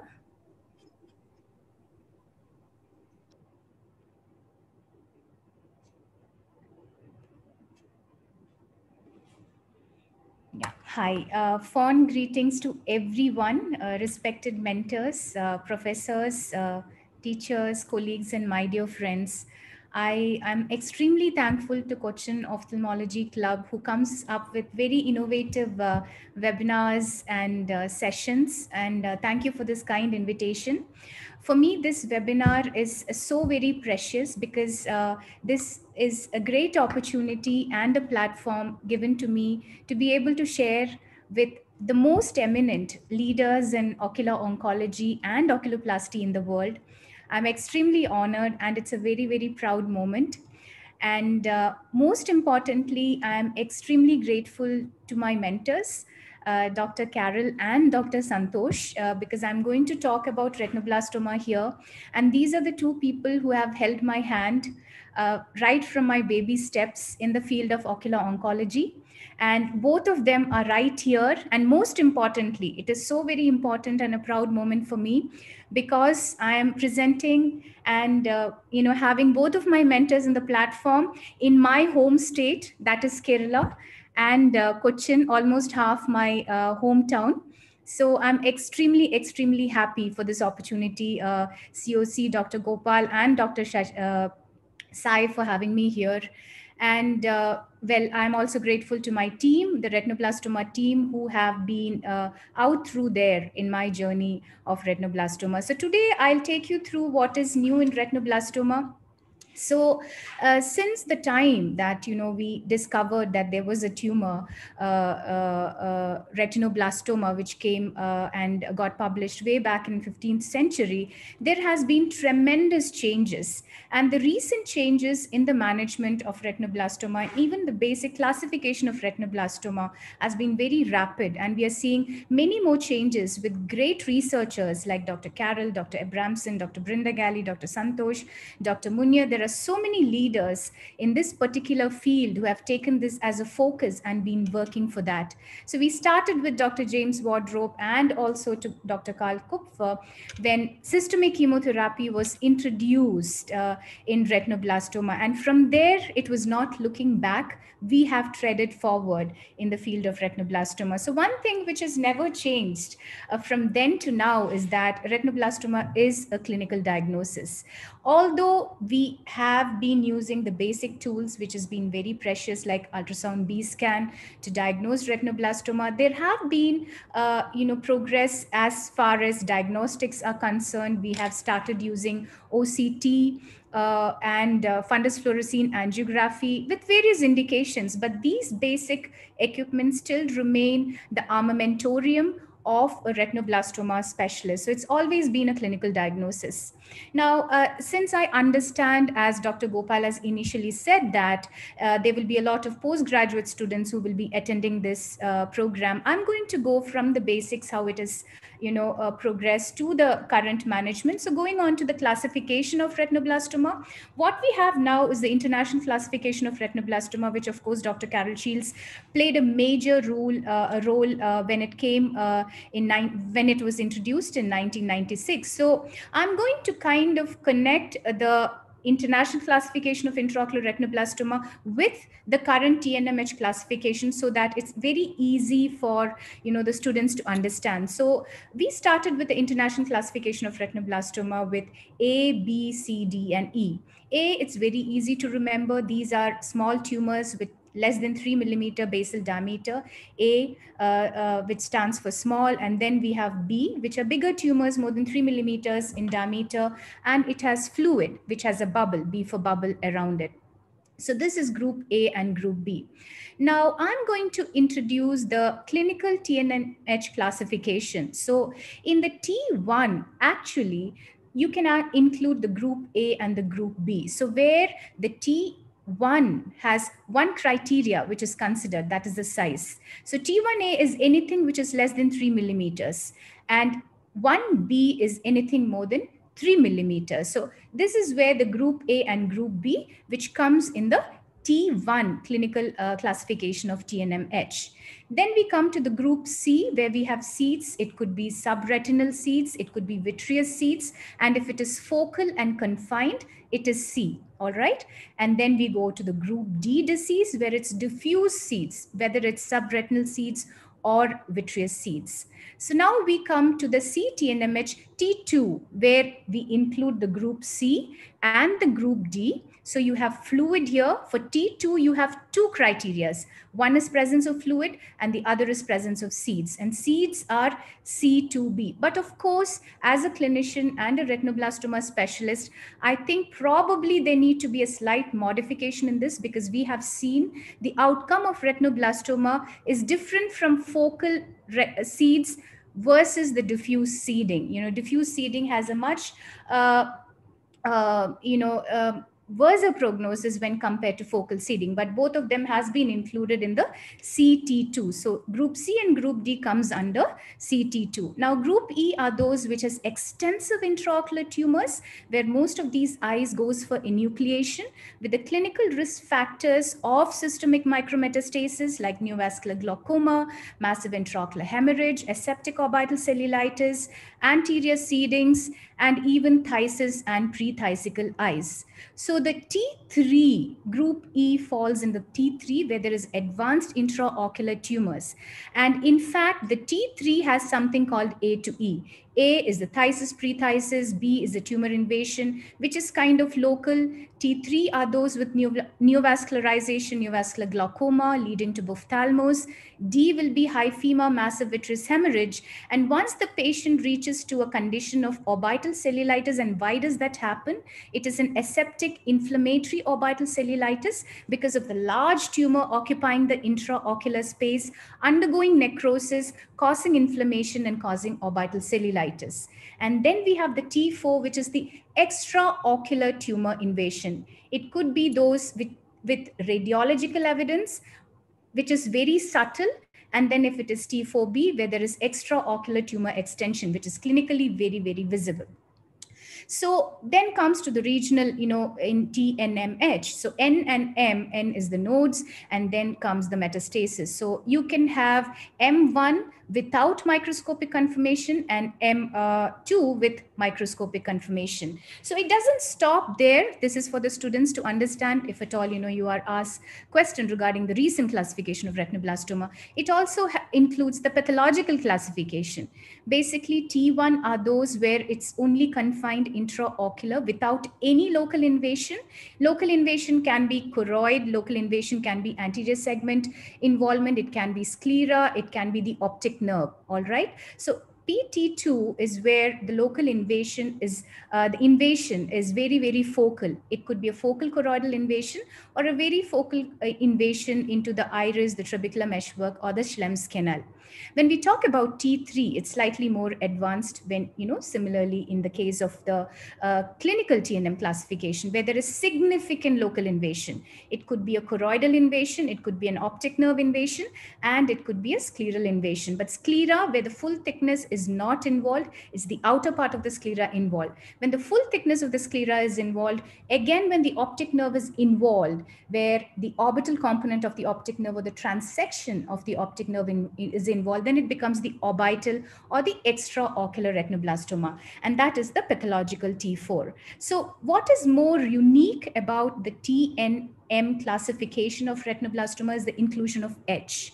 We all know that retinoblastoma has a genetic predisposition. So this is the only cancer which has got the unique uh, ID of having hereditary or the H included in the TNN H, uh, TNM classification. Then comes the classification of vitreous seeds because recently we have uh, found a lot of uh, research and publication which has come out with vitreous seeds because we have started treating it locally. And so this is the basic classification that we follow like spherules depending upon the morphological appearance of the tumor, dusting if it is dusting the entire vitreous and if you get chunks of clouds of vitreous seeds, it's called the clouds. Uh, the last uh, and the most important uh, uh, staging system uh, classification is a staging system of retinoblastoma. It is basically the prognosis of life. So you stage the entire body. So it is from stage one to stage four, including you know enucleation where there is complete resection of the tumor with microscopic residual. It could be a regional extension with pre or you know regional lymph node or the overt orbital disease. And stage four is something which is a metastatic disease. So this is what uh, you know the basic classification system of retinoblastoma is. And this was basically targeted for the postgraduate student who's uh, students who are attending the session today. Now going on to the current treatment modalities of retinoblastoma. I'm going to take you through this case, how you know things have changed and how uh, the outcomes have become better in the recent past. So this is a child you can see he has a ophthalmos. The left eye is ophthalmic uh, which would anyway go for enucleation. And then he has a large tumor in the right eye, a bilateral retinoblastoma, sporadic. Uh, so this is his good eye and that is the right eye. So you can see the entire uh, retina is uh, uh, filled with the uh, tumor.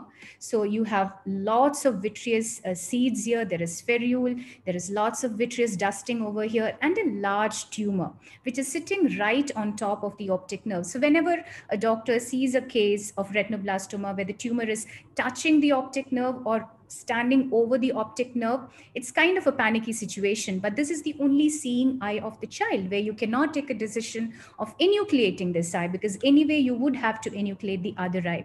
So, well, uh, systemic chemotherapy and the introduction of systemic chemotherapy to retinoblastoma has been a great breakthrough and it has been extremely effective and developing countries like india and many other uh, uh, countries. This has been definitely a very uh, you know uh, affordable boon of uh, primary therapy in retinoblastoma. So the same child this is pre-treatment this is after three cycles and this is what you see after chemotherapy six cycles the systemic intravenous chemotherapy with the addition of intravitreal topotecan. So the addition of intravitreal topotecan in this particular eye, which is the only eye and the only seeing eye of this child, we could salvage the vision. So this is where we have advanced and progressed in retinoblastoma. Similar, so that was a bilateral case where we are, where you are very desperate to save one of the eye. And if you ask me, well, if you receive a unilateral retinoblastoma where a condition is similarly, you know, severe, would you want to save the eye? Yes, of course, I would definitely try to save the eye if it is not affecting the life of the patient. Similarly,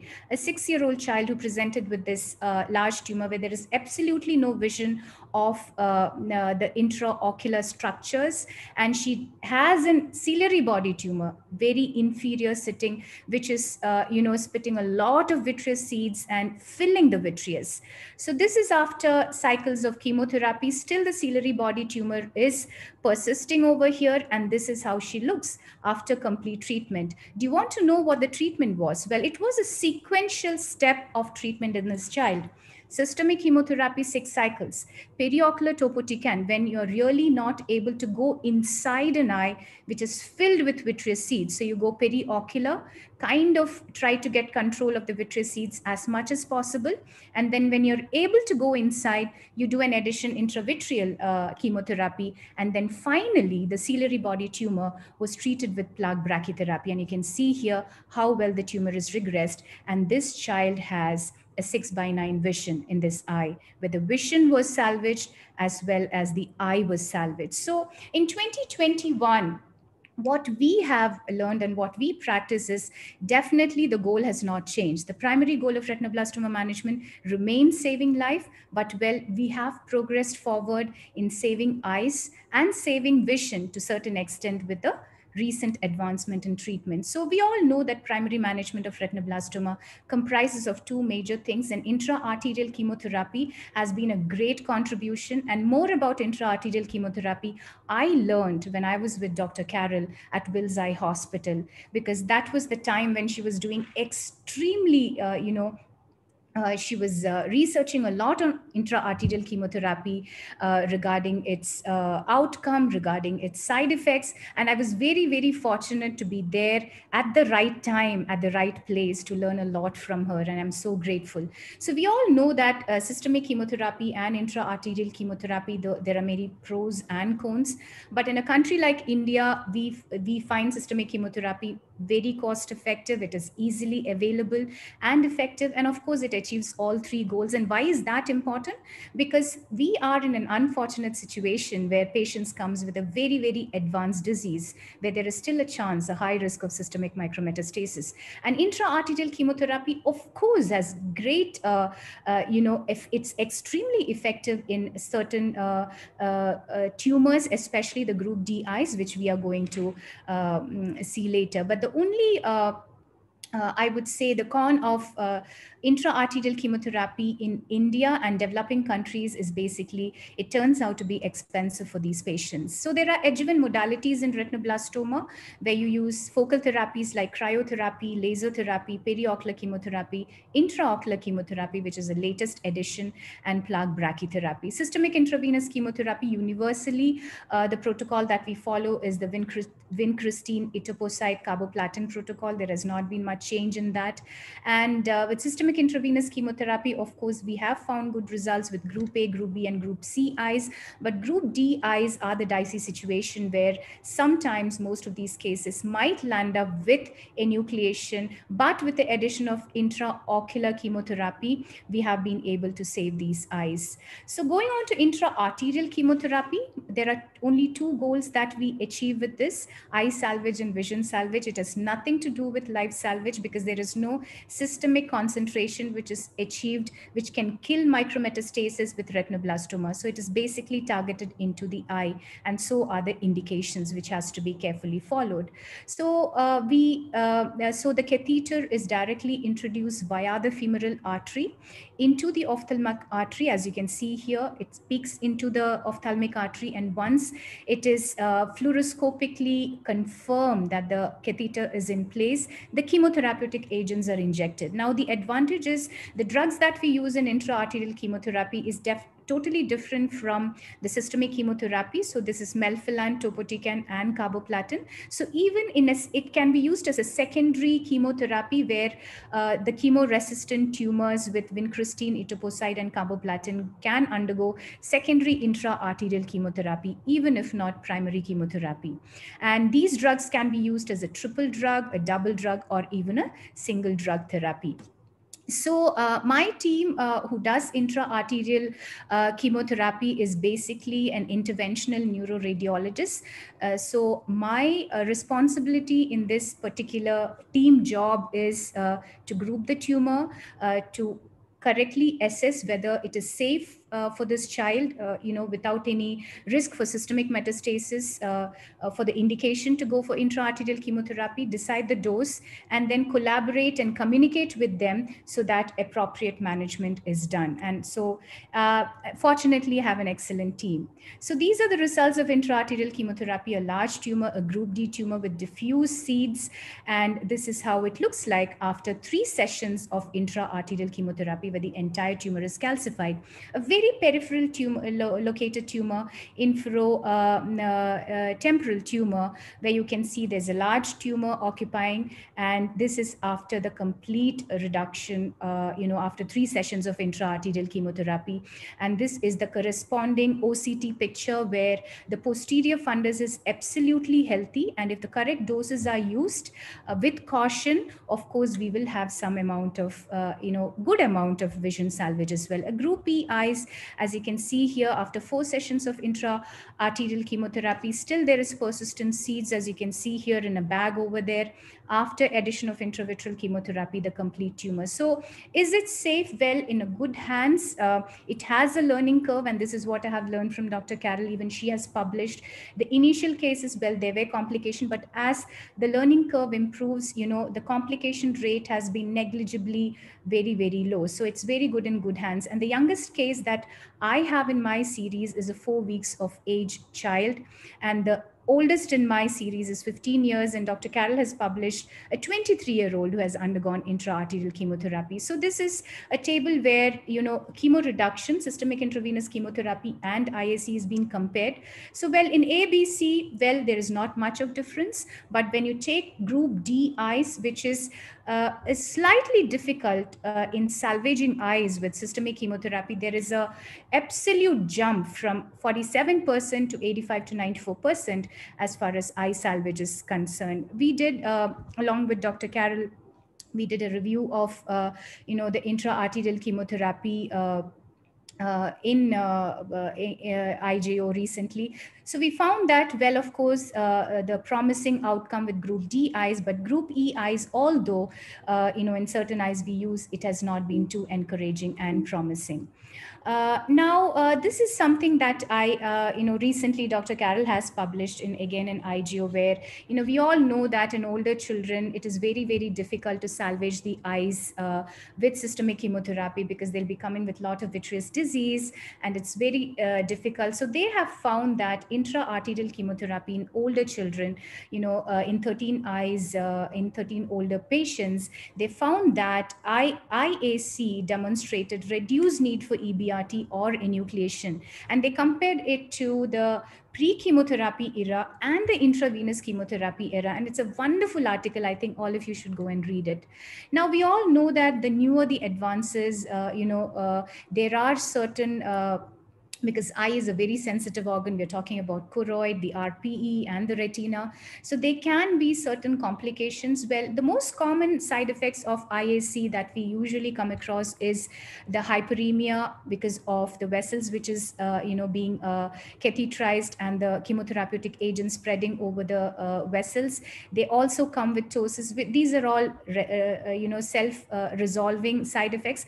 But well, the vision-threatening side effects sometimes worries us and this is exactly you know when you have to choose the eyes which has to undergo and be very very careful when vision is very important in these children. Well uh, you know alopecia is a known complication of systemic chemotherapy but i have had a series of children who even uh, has been uh, you know had uh, alopecia after intraarterial chemotherapy. So this is such a case where an intraarterial chemotherapy was done for a peripheral tumor you know a very good visual potential eye but unfortunately the child developed uh, severe choroidal atrophy and rp atrophy with no visual potential in that eye. So uh, choosing eyes for intraarterial chemotherapy we have to be extremely cautious. Group e retinoblastoma is kind of a gray zone and what you really need to know is what are the cases that you should not be doing, the contraindication, especially those with advanced intraocular retinoblastoma where you have suspected clinical high-risk features. And bilateral intraarterial chemotherapy, yes, we have groups who do intraarterial chemotherapy in bilateral cases, but when you are in a situation where you have to salvage at least one eye for vision in that child to live a quality of life, you should be you know kind of hesitant in using bilateral IAC in these children. The very, uh, you know, as we all uh, already discussed, now eyes in retinoblastoma with vitreous seeds has been quite challenging right from 1996 to 2012. This is a review that we have seen. Systemic chemotherapy have been used.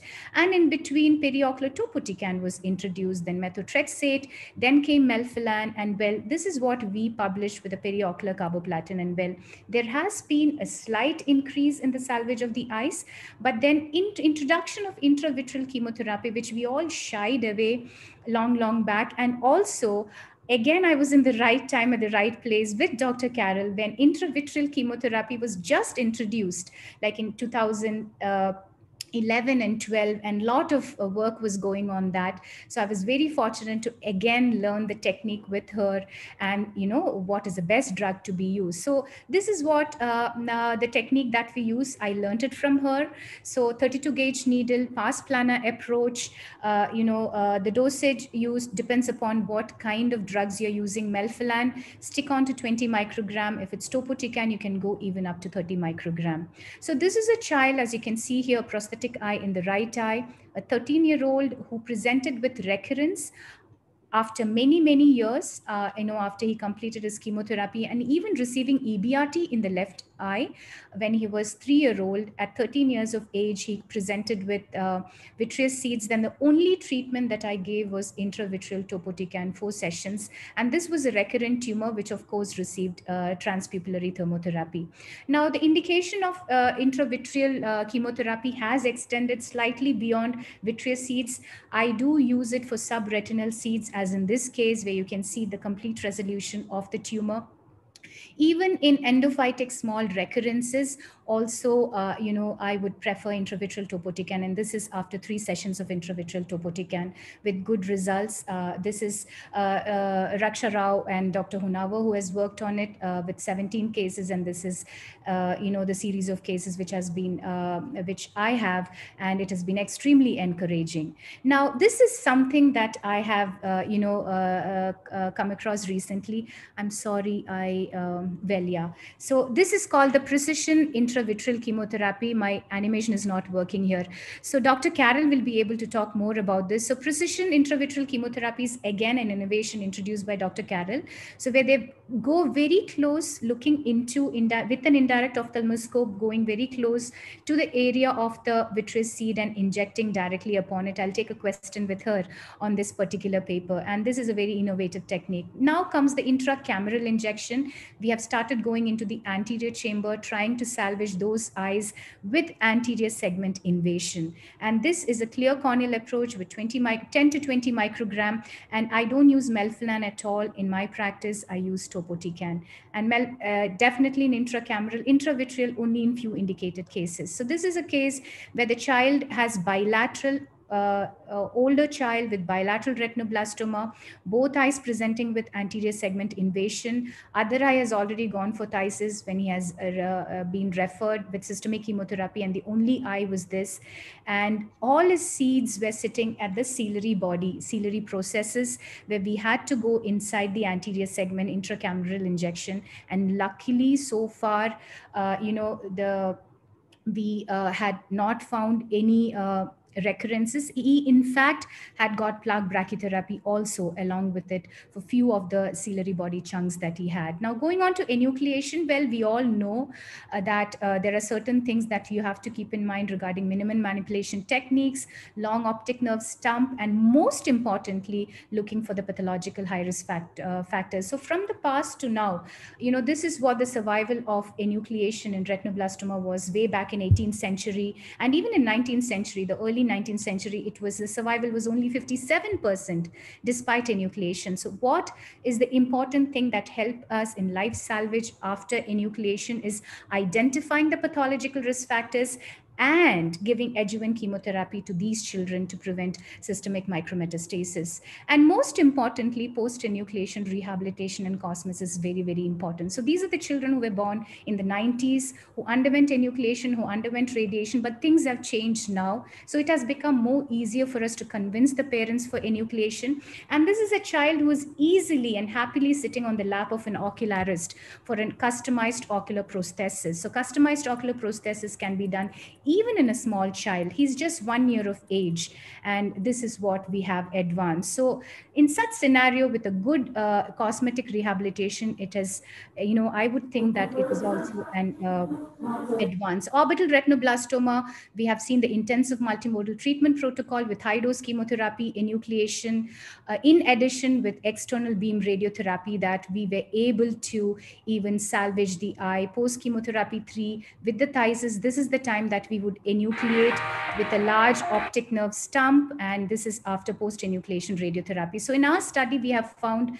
that recently with this uh, introduction, which Dr. Honavar has, you know, uh, introduced in uh, India, where we, we in fact uh, come across orbital retinoblastoma with advanced tumor, that it has been 90% with the multimodal treatment. Now, this case uh, came uh, with a microphthalmia in the left eye and a ophthalmos in the other eye. So this is how she looks like, where we had planned enucleation of the left eye and regression. So she had coloboma of the optic disc despite being the only seeing eye.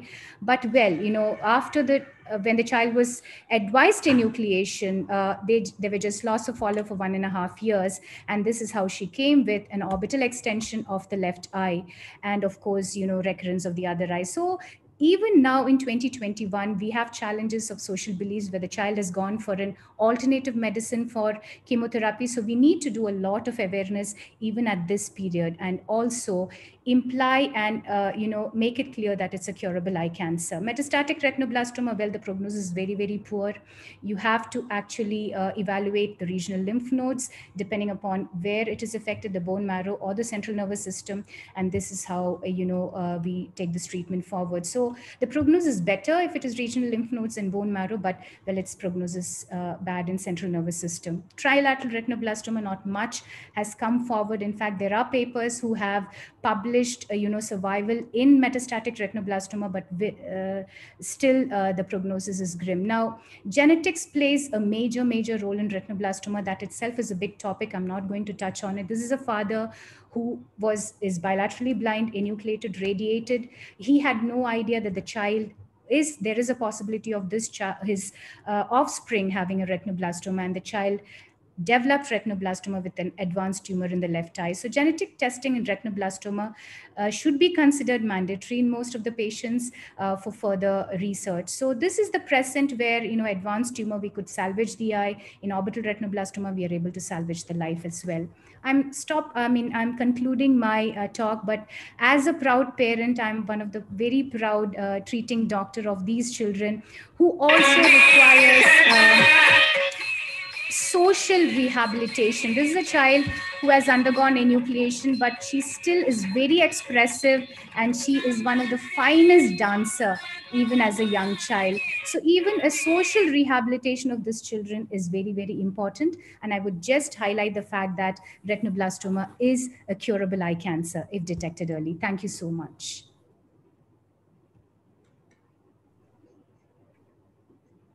Thank you. Any comments, Dr. Shields?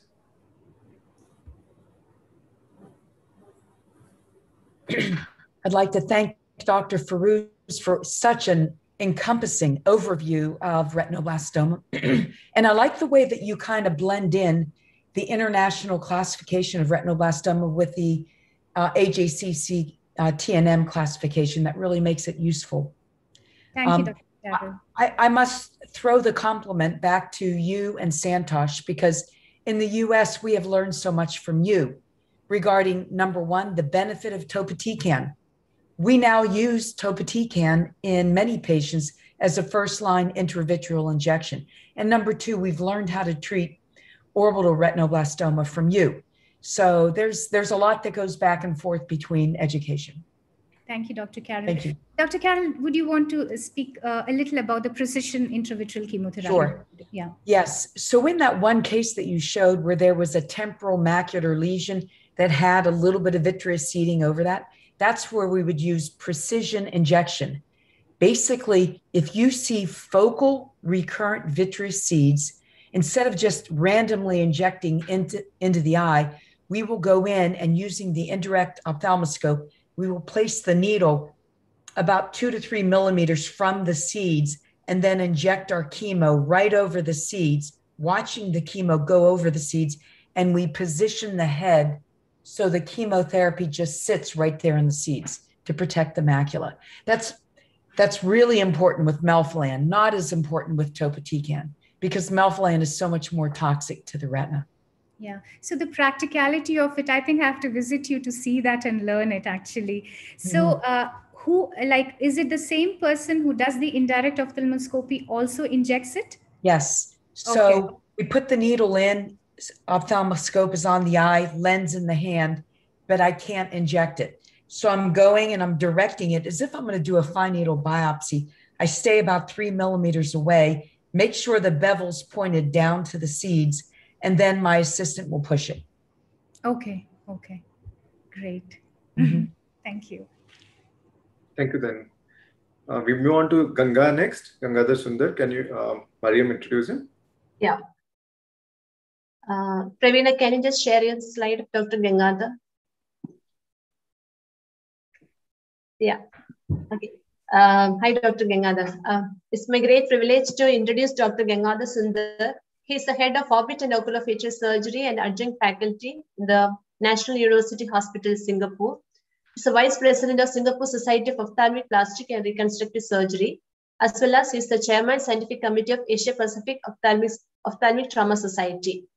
He is uh, instrumental in starting multidisciplinary services in uh, NUH retinoblastoma service, NUH uh, thyroid eye disease service, and NUH lacrimal service. More than that, he has authored a book on orbital fractures, principles, concepts, and management, and co-authored a book on ocular adnexal lesions, a clinical, pathological, and radiology correlation. And uh, I have got a personal touch because I have received the first Gangadhar Sundar Award for the Young Oculoplastic Surgeon in 2000, way back in 2012. Over to Dr. Gangadhar, please. Um, I'm not authorized to share my slides. You have to authorize me. Cooper? Uh, Dr. Uh, okay. now, now no, I think, yeah. Now it's on. Okay. anyway, thanks, uh, Marianne, for your kind introduction and truly an honor to be with the stalwarts. I'm not sure what I'm doing here, but I'll try to do my best. So Santosh has tasked me talking about, uh, to talk about orbitofacial fractures, the current practice. I bring you greetings from this part of the world, Singapore and the Asia Pacific Society, but uh, these are real stalwarts from whom, the teachers from whom we have all learned and continue to learn from, and they are truly an inspiration.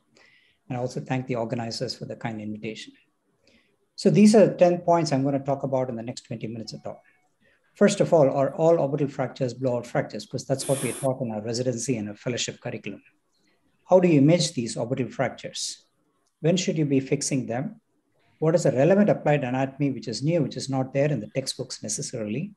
What are the principles of management of fractures? How do you approach them? What are the principles of atraumatic reduction of orbital contents? What are the implants do I have and how do I choose them? Anything special about pediatric fractures? And finally, how do you ensure quality control? So these are my disclosures. First of all, we are taught that orbital fractures are synonymous with blowout fractures. And that's not true. If you look at uh, analysis of over 1,000 fractures that we have in our practice over the past 10 plus years, we, blowout fractures only account for 30% of all the orbital fractures. In other words, the orbits are involved in a conglomeration of various other types of orbitofacial fractures. And hence, it's very important to realize that the 70% of fractures which are not pure blowout fractures are also orbital fractures which has been managed by us oculoplastic surgeons. So based on this, we came up with a practical classification of orbitofacial fractures. We classify them into simple fractures, which can be linear and trapdoor fractures, blowout fractures, which can be one wall, two wall, very rarely three wall fractures, and a small component of blow-in fractures. Whereas the complex fractures with orbits are involved, including the ZMCs, the NOEs, orbitofacial fractures, which are the Le Fort type 2 and type 3, and finally the cranioorbital and panfacial fractures. These are examples of pure blowout fractures involving the floor and the medial wall. Whereas you can see here that it's not just the orbits which are involved, the skull base involved. So there's a cranio orbitofacial fracture. And this is a nice case of a NOE fracture, bilateral naso-orbital ethmoidal fracture, which has implications not just from the eye, but from the canthal deformities and the nasal lacrimal duct as well. As, hence, it's very important to classify orbital fractures into simple and complex. Why? Because the complex fractures you'll have to manage along with the craniomaxillofacial surgeon, whereas the simple or pure orbital fractures is what we manage on our own. Blowout fractures can be either of the single wall or two wall, and these have specific implications in terms of the incision, the approaches, the implants, and uh, the outcomes as well. Examples are complex fractures, a ZMC fracture that you can see on the right side, which can be of various types. An NOE fracture, and the tubes here kind of show that the nasolacrimal duct system has to be preserved before you put all this hardware along the medial canthal area. And finally, cranioorbital or panfacial fractures, which you have to have a concept of sequencing these repairs and no point just fixing the orbital fractures alone. The second question we're going to talk about is how to image these orbital fractures. X-rays are history, MRI is probably coming in, but CT scan is a gold standard at this point of time. It is not just a CT of the orbits, but a CT of the face and the orbits.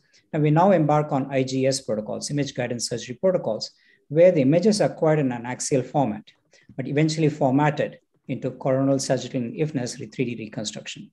So gone are the days of viewing films, and now it's all using the DICOM data to look at these various images in various formality. Because if you look at purely the axial images here, it looks like a medial wall blowout fracture. But only when you see the coronal images, you realize it's not just a medial wall, but a floor fracture as well. And you look at the sagittal, you're able to identify the posterior ledge. Hence, you have to learn to look at the films at, uh, or images in various formats. And examples, the same DICOM data can also be used for preoperative treatment planning for navigation surgery. Hence, it's not films anymore, it's a DICOM data that we use. You do your preoperative surgical planning so which you can use for navigational surgery and eventually for postoperative treatment quality control as well. The third question I'm going to touch upon is when should you be fixing these fractures? What are the timings and what are the indications?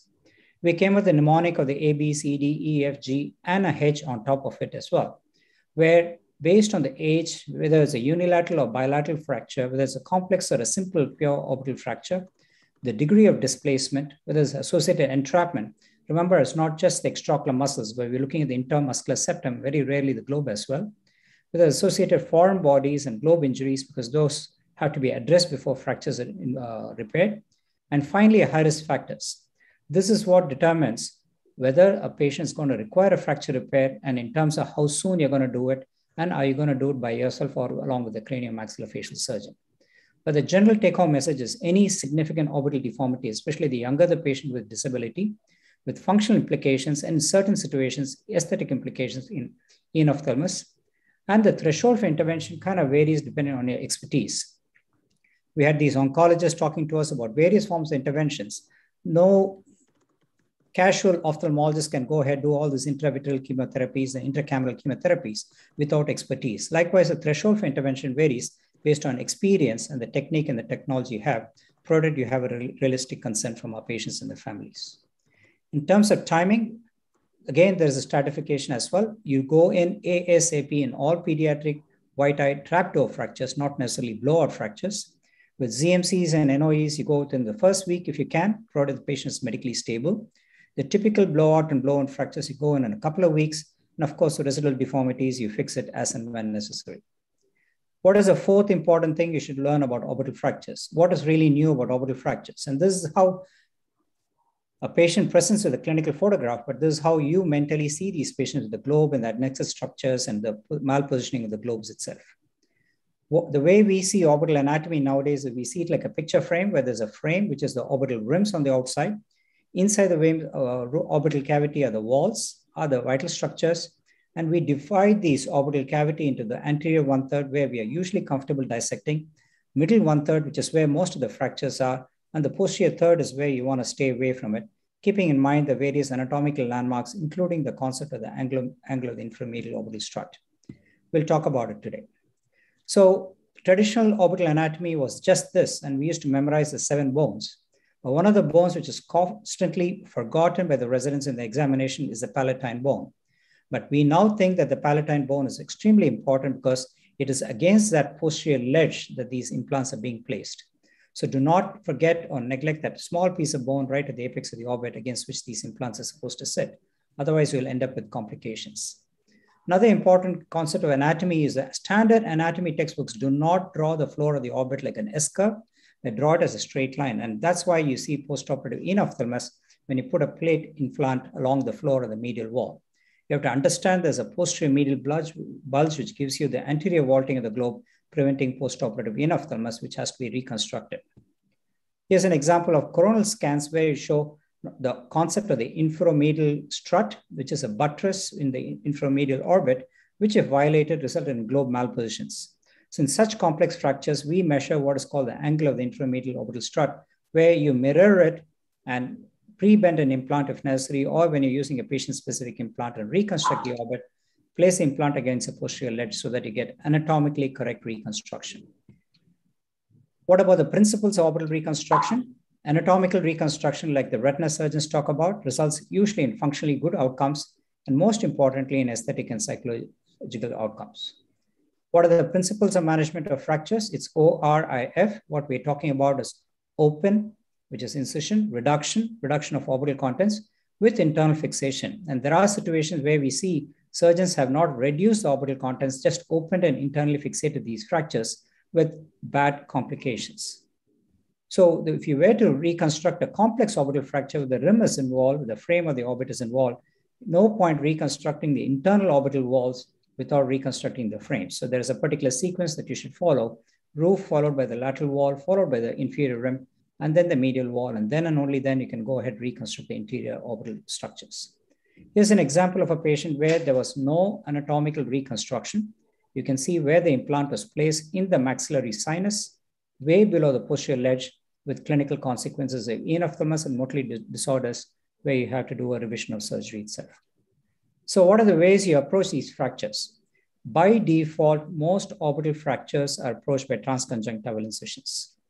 And this gives you good exposure to the floor, to the medial wall, and you can go all the way to the apex, including the uh, posterior strut, and you're able to identify the infraorbital neurovascular bundle and preserve it itself.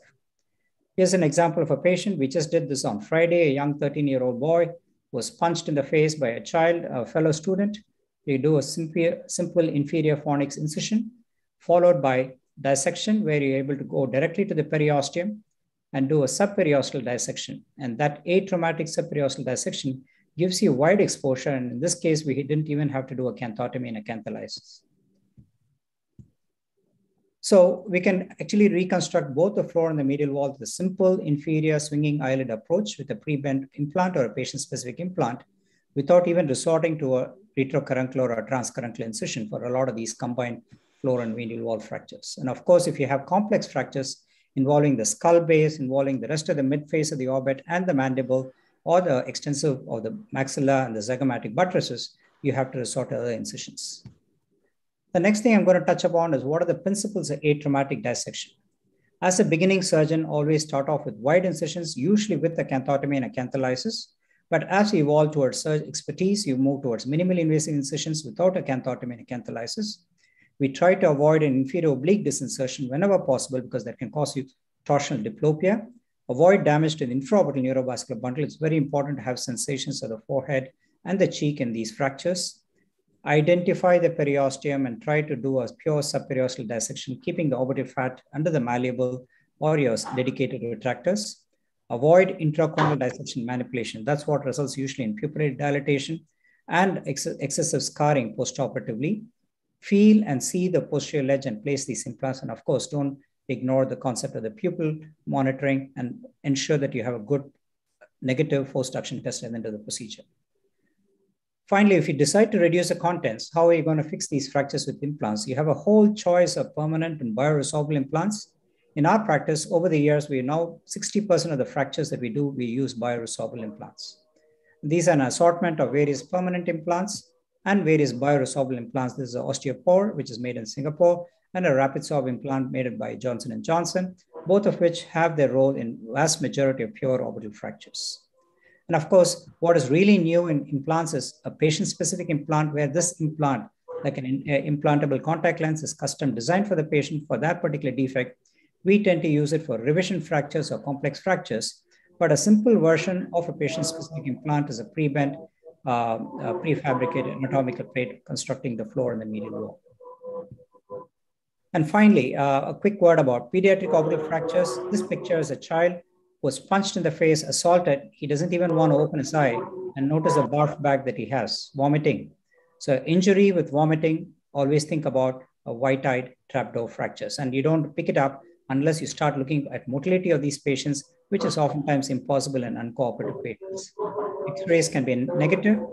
And here's a soft tissue window. A scan was done where initially there was thinking that there was no fracture, but only if you look at the bone window, you see this minor trapdoor along the floor in the medial wall. So the principles of management here is a high suspicion in a white-eyed trapdoor fracture, perform an examination anesthesia and orbital exploration. It has to be done on an urgent basis, release the trap contents, place bioresorbable implants in children whenever necessary, and exceptionally, there are situations where you don't need to place an implant because crack fracture. Examples are patients who have healed 18 months later with bioresorbable implants. This is a late post-op scan of a patient showing complete healing, hence driving home the message you don't need permanent implants. The final set of slides is about quality control in orbital fractures. In the past, we were sticking these implants, not knowing and really hoping that you've done a right job.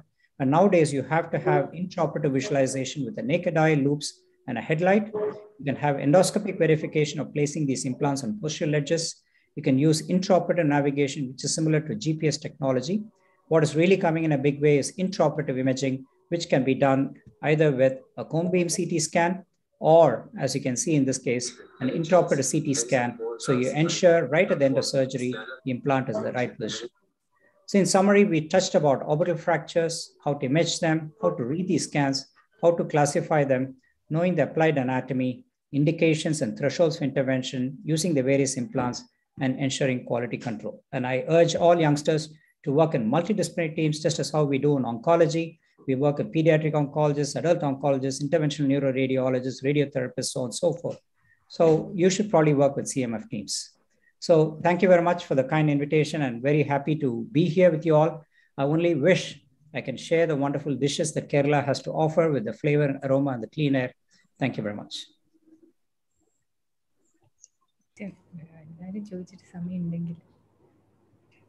Thank you. It was a very beautiful, very beautiful uh, and a comprehensive review of orbital fractures. And of course, you have written a book on it, so with the authority to speak on it.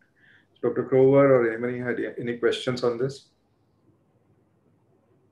Uh, Ganga, I would uh, only ask you about the change in your uh, spectrum of use of implants. You are increasingly using bioresorbable implants.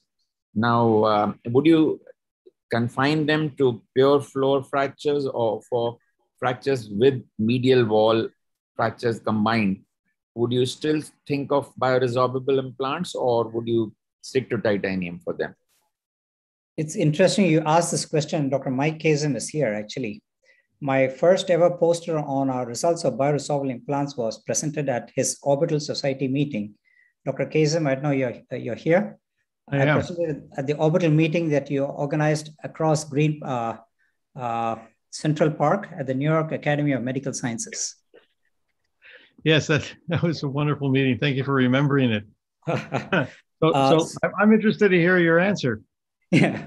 So we started dabbling with it in 2004 onwards. And initially, we were using very soft bioresorbable implants. But lately, most of the bioresorbable implants are thermolabile and stiff implants, which can be pre-bent and maintain their shape. So we started using them for small fractures, then became a little bit more daring and started using for medium and large size floor fractures alone. Nowadays, we use it for floor and medial wall fractures because they maintain the shape and we're able to show that the bone heals around these defects. So in patients who are not likely to be injured again and again, that i.e. no Y chromosome in their body, not likely to be injured again, I tend to use bioresorbable implants. In occupational trauma, construction workers, motorcycle riders, guys who are always doing kickboxing all the time, I tend to use permanent implants. And what uh, what brand are you using? What is the uh... For the large defects, we are using the polylactides made by Johnson and Johnson. It's called RapidSorb. They also the thermolabile implants. You can bend it to a particular angle, a contour if necessary. For the small to medium, we use the osteopore or osteomesh implants, which are relatively softer and supple, but they come in various thicknesses. Those are the ones we use. Great.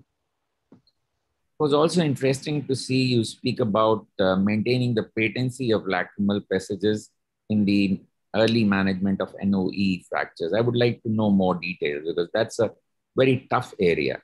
Um, how do you uh, precisely ensure in the primary management that you're maintaining the patency of those passages?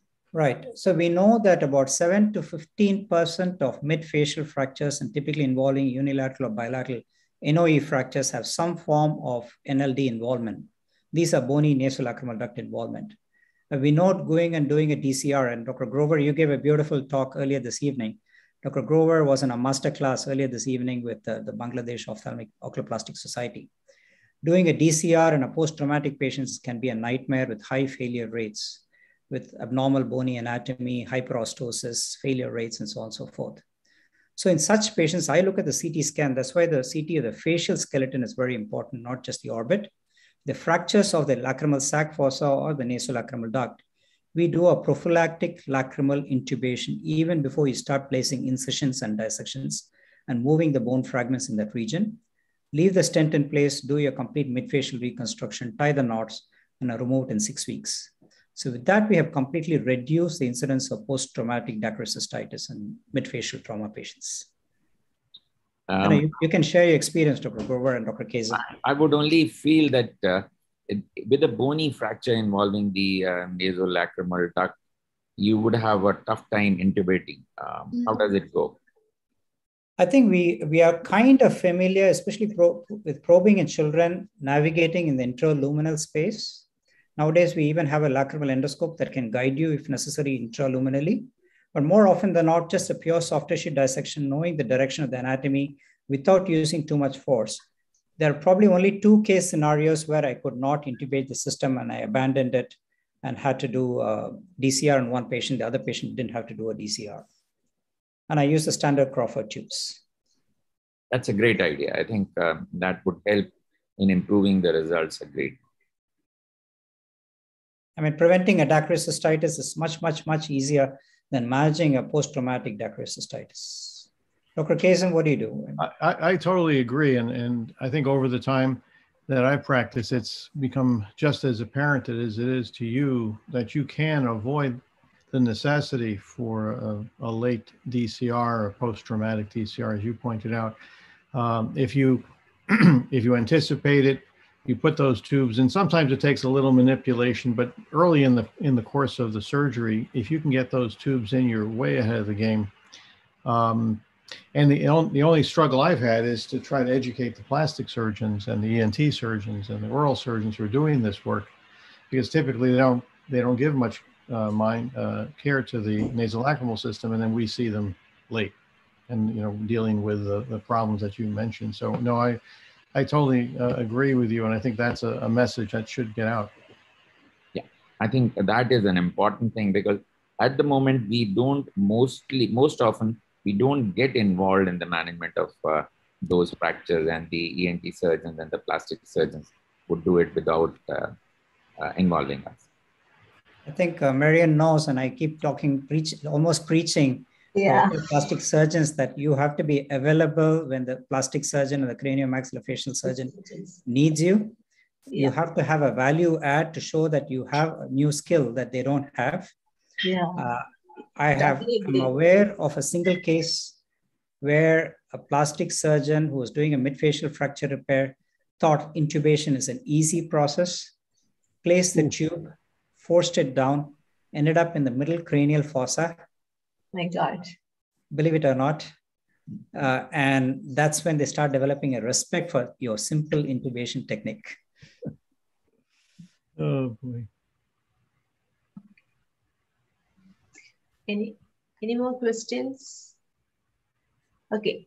If not, thank you very much. Uh, actually, a Thank special you. regards to Dr. Michael Kazim because historically I was supposed to have joined him as a fellow years ago. Uh, never happened, but I've continued to learn from him over the years. And uh, he amazes me with his knowledge and constant innovation and contributions. No, Gan, Gan, you eclipsed anything that I could have taught you. So congratulations. I'm very, uh, I'm very proud to introduce uh, Dr. Michael Kazim, a doyen in uh, orbit, uh, especially thyroid eye disease. He is a clinical professor of ophthalmology and surgery at the Harkness Eye Institute, Columbia University Medical Center. He is well recognized for his work in the field of orbital disease, especially orbital tumors and thyroid eye disease. Uh, he's a chief investigator for many, uh, several clinical studies for thyroid eye disease, and he's a member of International Orbit Society, American Society of Ophthalmic Plastic and Surgery, AAO, Surgeons, and is a founding and first president of the International Thyroid Eye Disease Society, where we, they have instituted ITDS criteria for follow-up and first visit, especially in patients in managing patients with thyroid. Also recipient of many awards, including uh, Lester John Surgical Achievement Award from ASOPRS. Over to uh, Dr. Kazim, please. Well, thank you. Thank you very much for that very kind inter- introduction. I'm going to share my screen in the hopes that it'll work. and and thank you to uh, all of you, in particular Santosh, for the invitation to speak today. If There, with all the rest of our illustrious speakers, is is my first slide visible? Yes, yes, yes. Great, thank you. So I've been asked to speak about what I consider today in 2021 a logical approach to thyroid eye disease. And in order to derive that, I think we need to cover several items. First, we need to be uh, understanding of what a, a reliable diagnosis of this disease is. What's the natural history of the disease? How do we stratify the risk of developing bad disease? What are our treatment goals? And what, are, what therefore are treatment options in each of these cases? So to begin with, the diagnosis is established uh, with the presence of two out of the three of the following uh, features. The typical clinical features, the radiographic findings, and the appropriate serologies. The clinical features I'm speaking of are either unilateral or bilateral eyelid retraction, more so still if there is uh, temporal flare, bilateral proptosis, and restrictive strabismus. The second is the serology, and that involves the presence of an autoimmune dysthyroid state, either concurrently or in the prior history of the patient. If you don't have the presence of a or the diagnosis of autoimmune dysthyroidism, one can go to antibody testing to include TSIs, TRABs, TBIIs, or TPOs, but they don't carry quite the same weight as the uh, full-blown diagnosis of autoimmune dysthyroidism. The radiographic findings are known to most of us. the presence of enlargement of the superior rectus, medial rectus, inferior rectus, and far less commonly the lateral rectus in a fusiform pattern that spares the tendon. So if you want to make the diagnosis, you only need two out of three. And as a consequence, radiographic imaging is not required in all cases. What's the natural history of thyroid eye disease? Well, we're all very familiar with the terrible cases that seem to go on forever. But the truth is, and it's important to bear in mind that 100% of these cases are self-limited. In a non-smoker, that is limited to a year in most cases. And in, not, in smokers, unfortunately, it does continue for two to three years. Spontaneous resolution is common and not a unique event. Uh, and there are differences in the phenotypes based on the age of the patients, and I'll mention that a bit more uh, in the next slide. And I think this is what has been under considered in our uh, in our discussions of thyroid eye disease. The age really makes a difference. So when you're looking at patients in their 20s, 30s, they tend to be very uninflamed. They tend to have lid retraction or at the very most proptosis due to fat expansion. When you're in your 40s, certainly 50s and 60s, congestion, proptosis, lid retraction, motility imp impairment, that becomes a much bigger uh, feature. And the patients that worry me the most are these seemingly quiet patients who show up in their 70s or 80s uh, with double vision, and they are uh, key.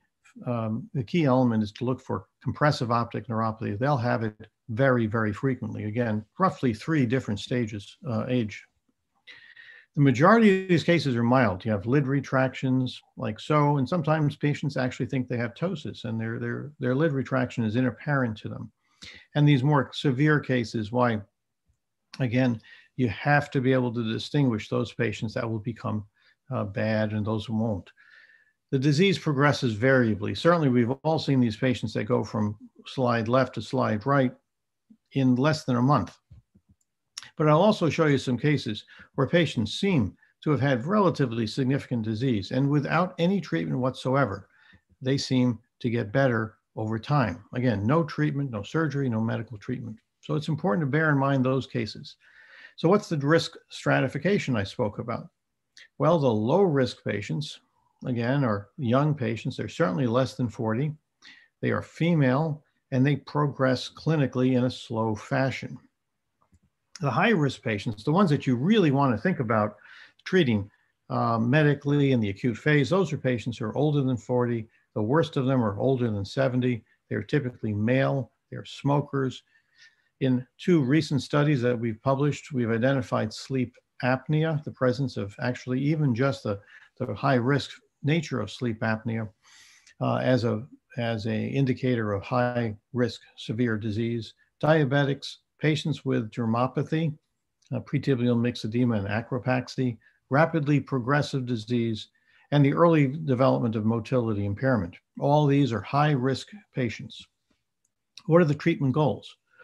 Well, here's where I, I, I, vary from some other folks. And I think that overall, the studies that have been conducted on the uh, treatment of thyroid eye disease focus on disease modulation. That is suppression of the disease. So you reduce CAS, you reduce inflammation, you reduce pain, you reduce tearing. So that's disease modulation. But in my view, the more important factor is being able to modify the disease, to modify the durability of the disease. So you want to be able to suspend the active phase if you can, if you need to, by a medical means, because that's how you that's how you decrease the need for disease modulation. So again, disease modulation is suppressing symptoms and signs. Disease modification is shortening the disease. Other measures of, of uh, therapeutic efficacy are the reversal of the clinical features and the reduction in the need for surgery, another underappreciated um, important outcome measure. So what am I talking about? Here's the Rundle's curve. Things get worse, then they get better, and then they stabilize. And again, about a year, year uh, or so in a non-smoker. If you modify the disease, you're simply suppressing the severity of that or the height of that Rundle's curve, but you're not changing the length of that curve. And if you are, in fact, uh, modifying the disease, you are pushing it to the left. So the disease term is, is shorter and the consequential uh, um, un, unmodifiable disease features, they are, are not going to accumulate to the same degree. We have any number of different metrics. The popular ones these days are, are CAS. Um, but each of the measures of clinical disease are important. Diplopia, proptosis, lid retraction. Uh, the CAS, for, for those who are unfamiliar, um, is a multi-point score to include the measures of uh, what was initially intended as a measure of uh, responsiveness to steroids. So patient uh, came to the clinic um, in Amsterdam and they wanted to know would these patients respond to steroids?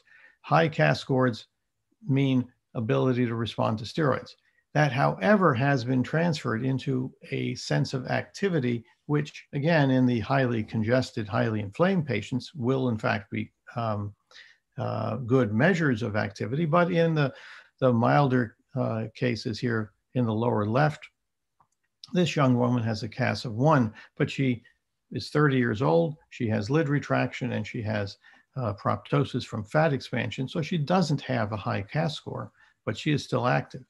Uh, similarly, this older gentleman I showed you earlier has a terribly active and severe disease, but does not have a high CAS score. you can then measure proptosis with her Hertel's lid retraction, and a motility, uh, extraocular motility is measured by any number of different ways that are both subjective and objective. The current fashion is to use the Gorman score, which measures activity subjectively, uh, either uh, absent, intermittent, with gaze, or constant. Uh, and it has its limitations, um, which we can discuss if you're interested. What are our therapeutic targets? Well, the scientists have provided us with a much greater understanding of the um, mechanism, the pathophysiology of thyroid eye disease. And uh, this lecture doesn't give me uh, time to discuss this in detail, but just suffice to say that corticosteroids, which have been our mainstay, suppresses all of these systems. Whereas uh, things like Rituxan uh, affect the B cells, uh, tocilizumab at the IL-6 target, TNF alphas go through PGE2. NSAIDs, um, simple NSAIDs, NSAIDs can uh, positively affect the COX2 mechanism. And radiotherapy has an effect both on the presenting cells, the macrophages, and the um, orbital fibroblasts, changing them from a, a pluripotential cell to a, uh, an, a more um, basic uh, uh. And then the most recent uh, addition is teprotumumab, which is an IGF-1 receptor blocker. So what are our options? Well, uh, published have been studies on selenium, prednisone by mouth or IV methylprednisolone, radiotherapy, Rituxan, tocilizumab, Tepro. And uh, I conducted a meta-analysis of, uh, of the studies that exist, and there were well over 100 studies. And I was looking for uh, prospective trials, randomized trials, blinded trials, single entity treatments, patients who were treated before they had nine months of active disease. Again, because as you get closer to that one year, the disease uh, natural history takes over and the largest cohorts. I put on a chart here uh, the studies that I will discuss with you. I will tell you that these all follow, uh, fit the criteria. There's PO steroids, IV methylprednisolone, teprotumumab, Rituxan, and selenium. I've included tocilizumab despite the fact that it does not meet those criteria simply because it is of recent interest to everyone. And I'll just show you where it seems to fit. But just as a disclaimer, uh, these patients were treated after a year of thyroid eye disease and had been pre-treated uh, and failed steroid treatment. So it's not entirely the equal of the others, even in terms of its evaluation. So in terms of CAS reduction, most of these uh, interventions seem about the same. Uh, PO steroids minus two, IV methylprednisolone minus three, reduction in CAS. Same two for Tepro um, and Rituxan. Selenium, not quite so much. In proptosis reduction, the, the current uh, fashion is to have a drug that can reduce um, proptosis by about three millimeters. Uh, and on average, Tepro meets that criteria. IV methylprednisolone's only two millimeters, um, and Rituxan pretty much the same. So more or less the same in terms of proptosis reduction. Motility improvement uh, has been shown um, by Gorman score uh, to improve by in 70% of patients who are treated with IV methylprednisolone and in 68% of those treated with Tepro. The rest of the drugs don't seem to help. Um, lid retraction, that's where selenium shines. It's been used on the milder cases and uh, nearly half those patients seem to improve as was the same result with tocilizumab. Reactivation, okay, now this is that disease modification as opposed to modulation. What we've been talking about so far has been disease modulation. But in terms of disease modification, uh, the only, whoops, the only drug that, yep, there we go.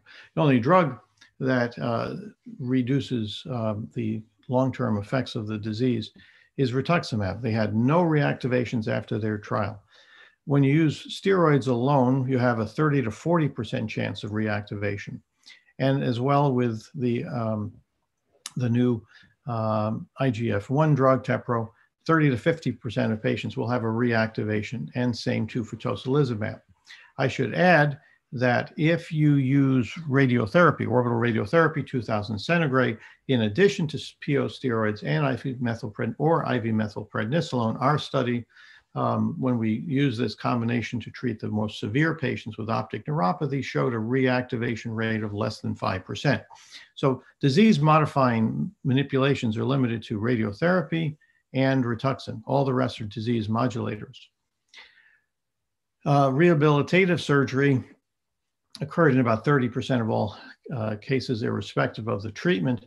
And the TEPRO group saw no difference um, in the outcomes uh, of the patients needing surgery if they were treated versus placebo.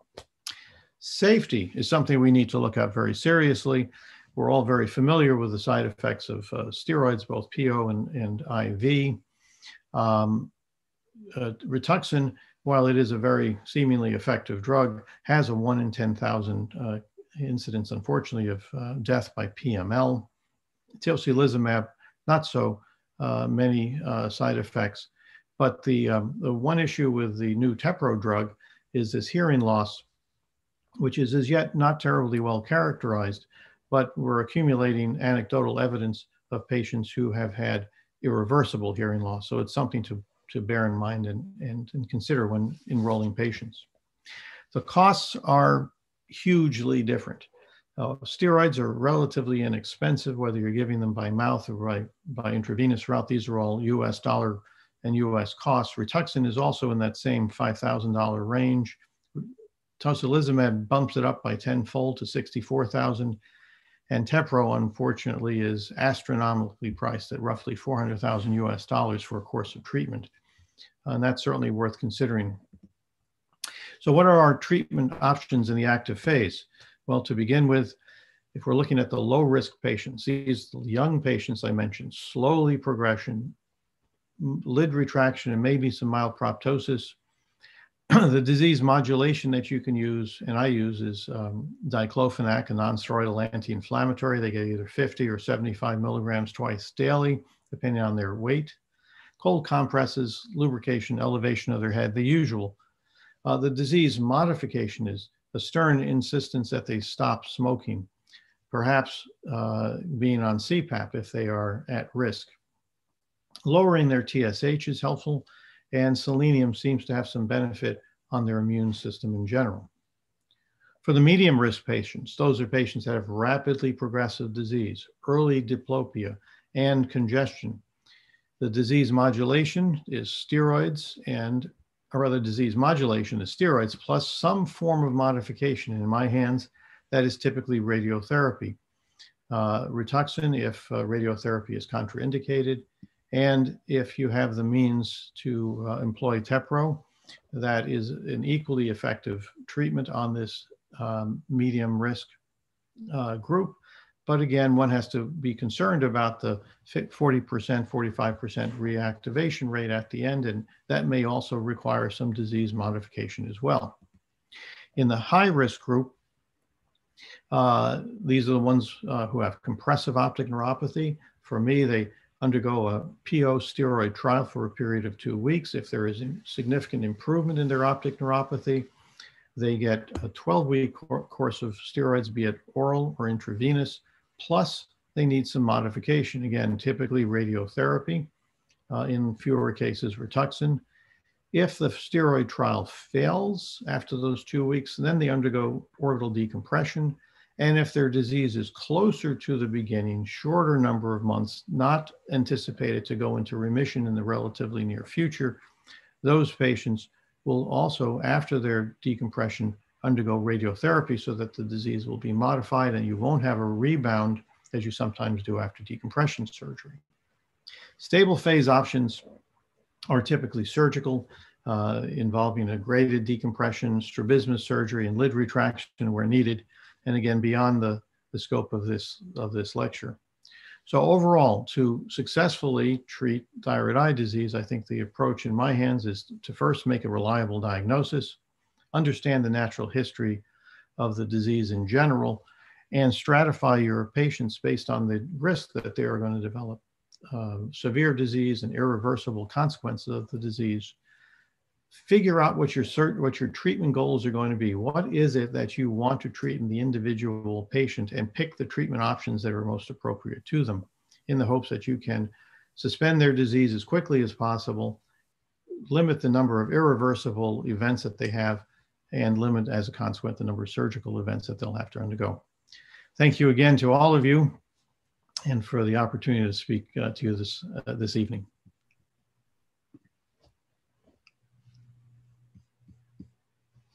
Thank you so much. It was a excellent coverage of the entire thyroid eye disease spectrum. Uh, Ganga, do you have any comments? You are, I, I know that you are interested in thyroid eye disease yourself. Yeah, I'd like to hear. Dr. Grover. Uh, yeah, so uh, uh, of course, and I thoroughly enjoyed your talk. I, I know you do have, uh, I, I, shouldn't say a bias, but a lot of experience with radiotherapy. And uh, people always see radiotherapy in isolation, but you drove home the point is always radiotherapy with corticosteroids and probably no difference between oral versus IV corticosteroids. Could you share with us, have your thoughts changed or experience changed in the first, say, 10 years versus the second 10 years of application of radiotherapy in thyroid eye disease? You know, that's a great that's a great question. I think that the that in the beginning of my practice, I had two different kinds of patients that went to radiotherapy. Um, the compressive optic neuropathy patients that that were steroid responders, and that has persisted through the through the years. The second group of patients that I had early on were patients who had come to me uh, steroid dependent. So whatever their symptoms were, they, they, they seemed to be unable to withdraw from steroids. And there was a paper we published many years ago where we saw that, that that group of patients responded well to radiotherapy and presumably for the same reason that you're suspending their active phase. What has probably occurred in the last decade, and this is a look at that at that middle group of patients, the moderately severe group, the ones that have early uh, diplopia and encouraged by some of the work that that came from uh, Peter Dolman and his and his uh, group in Vancouver, that you can get the benefit of the steroids that was shown in in the group uh, in Amsterdam uh, in terms of congestion and pain and and maybe even improving some diplopia, but you make it persistent. Again, the problem I have with steroids, and for that matter, any other drug that simply suppresses disease is that it's not a persistent effect. And if you're de- delivering that treatment early in the course of their active phase, you can pretty much anticipate that they're going to have a rebound. It's a completely different event if you're going to give them that intervention at month nine as opposed to month three. So, based on on that, I will take those early active, uh, severely um, uh, rapidly progressive patients and treat them with steroids and give them radiotherapy to, to modify the disease. And frankly, if, if Rituxan was a more routinely safe drug, right, if you didn't have to deal with that one in 10,000 fatality, I think I would choose that one uh, much more regularly because it, do, it, really does uh, demonstrate um, in, this, in the studies that have come out of Milan, very nice response in both the, the uh, active phase and the persistence or lack of persistence of disease. Um, but that's the problem with that one. Can I ask a politically uh, political question, but with the scientific angle before Dr. Grover takes over? The EUGOGO philosophy versus the ITEDS philosophy. You know, there are different principles, concepts, and applications intervention. And this is for the benefit of the thousands of delegates who are logging in. I'm going to be viewing it down the road. Which way do you veer and pros and cons of each? Sorry, well, I'm not sure exactly what, what difference that you're referring to. I, if you could tell me, that, would be a big help but you know there there are there are differences that exist in terms of medical therapy and surgical therapy. What what in particular did you did you? Right. So so, so I, I'm I, I'm a member of EUGOGO in sense that we are the only non-European center member of EUGOGO, and the latest guidelines now talk about use of mycophenolate along with intravenous steroids. EUGOGO has always been a big believer of intravenous steroids. I know North America generally it has been oral steroids rather than intravenous steroids, partly because the way practice works. Some people believe it makes a big difference. Some people don't believe it makes a big difference. And also the introduction of uh, the newer modalities of treatment. So we have a first line, we have a second line. They are skeptical about methotrexate. They're skeptical about uh, AZA, uh, but they use, some of them use cyclosporin which is not often talked about. So I was just wondering, because I know you're an ITEDS person. No, I, I, think I think what you point out is actually something very interesting, and that is that due to the relatively small number of patients in this disease, right, it is very hard to to generate good studies. And I think EUGOGO has done a wonderful job at generating good clinical trials.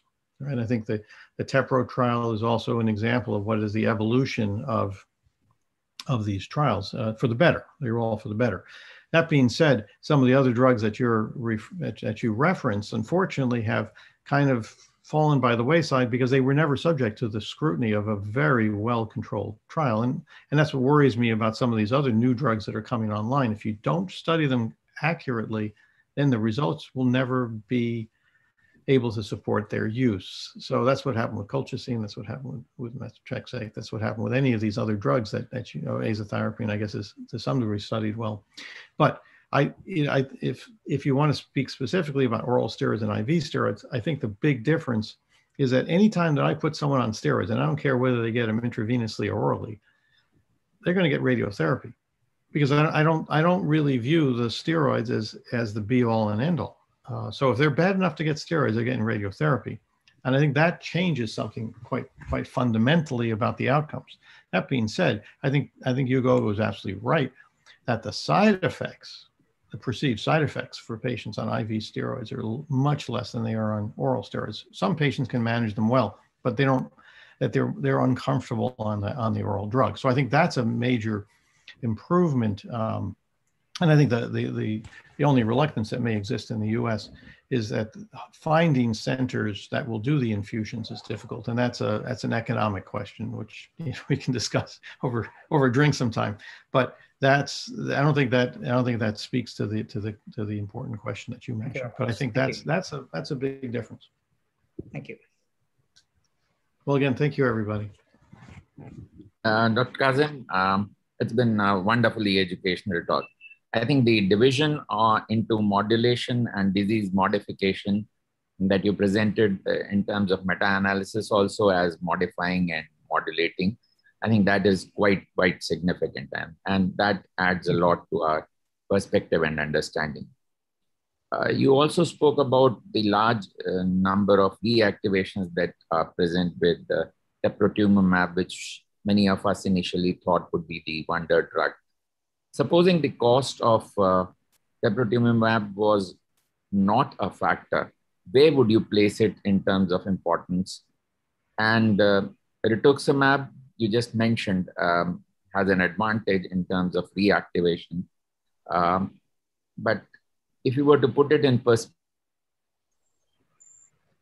considering the advantage offers and the kind of low mortality that it affords, where would you place them in the uh, spectrum of thera- our therapeutic armamentarium? Right. Well, let's start with let's start with the method. Let's start with the Rituxan first, because we all see patients who have other autoimmune diseases that that are on Rituxan, and in the one that we deal with most most commonly, right? Uh, all these all these uh, invasive inflammatory diseases, and methotrexate for sure has been an enormous benefit uh, to those autoimmune, you know, it was not developed for autoimmune disease, but for patients who have been on chronic um, steroids, it is completely game changed. You know, whether you're on cyclosporin and, and, and, and steroids, this has been a game changer. So again, if not for that, for that um, risk factor, one in 10,000, that would probably be my number one drug. I would use it just like the rheumatologists use it for rheumatoid arthritis and the like, and I would stop the disease. That would be my treatment. Um, so if I had a choice and I got rid of that one in 10,000, that would be my choice. You know, the, the advantages and the disadvantages of the uh, TEPRO it's, it's basically a steroid type drug, right? So again, it's like a modifier and it's a very effective modifier and maybe has a little bit of, of an advantage in terms of the outcome measures, right? But if in fact the study results from their trials are in fact true, that you have a 40, 45% chance of relapse, well, then it looks just like steroids. And, and, and the anticipated uh, response from the company is, well, you just treat them again. Well, that's that's fine. If the, like you said, if the drug is cheap, and that's not a con- that's not an issue, then I think it looks very much like steroids. The one thing, though, and again, the, the patients that I have enrolled have all gotten hearing testing at the beginning before they get treated, and I treat and I retest them the three um, cycles in to see if there is a trend towards hearing loss. And if there is, then I just stop the drug. Uh, we have not yet had enough time with this drug. I mean, this is not like tobramycin, where we understand the serum levels are subject to the, you know, the risk of hearing. And we know what those numbers are, you know, all that, that toxicity. We don't know that. We don't know that. You know, with this drug, you know, it could be like Rituxan, where every every time they look, you can get a you can you can get efficacy with a lower dose. So we may have that with this drug too. If we lowered the the uh, the um, drug dose by tenfold, well, maybe the, the toxicity goes away. So if you get rid of that problem, then I get sort of a whole lot more comfortable using it uh, as a replacement for steroids. But you're still going to need to do something with as a disease um, uh, modifier unless of course the, the drug is completely safe and you can use it for a course of a year or a year and a half.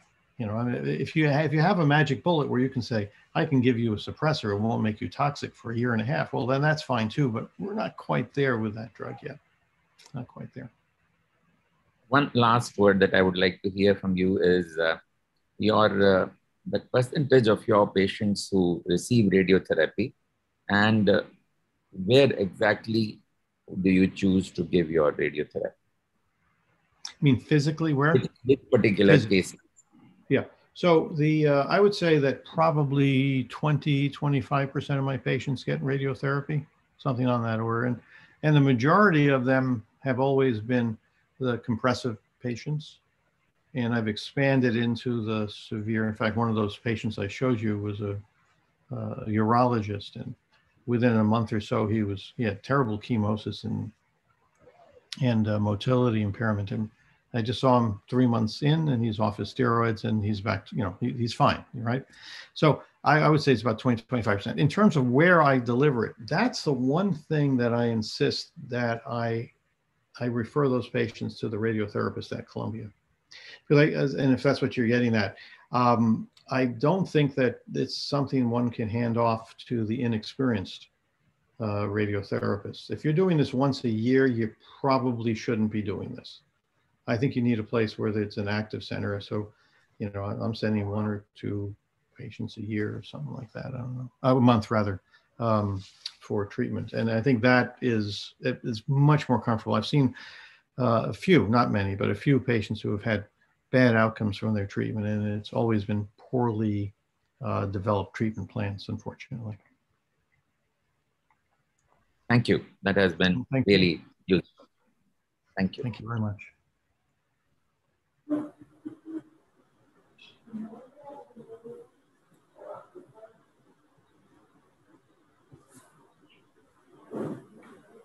Dr. Marian or Dr. Annie, who is introducing okay. sir. Okay, I, I didn't unmute. So let me, now can you hear me now? Yes, yes. Okay. Dr. Grover, who is familiar in, in all our uh, All India meetings and we always look forward to his talks and his videos. He's the chairman of the Department of Ophthalmology, Sri Gangaram Hospital and Vision Eye Center, New Delhi, and also the recipient of the prestigious Padma Shri Award by the President of India.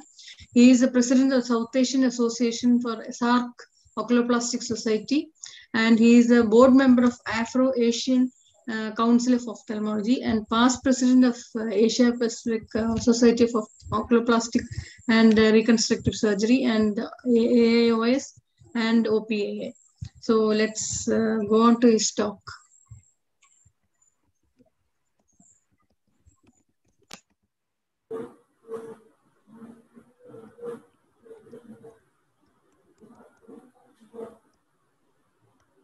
Good evening. Um, thank you, Cochin Ophthalmic Society, Santosh, and all of you for this wonderful opportunity to be a part of this prestigious webinar. And I've really enjoyed being a part of this session.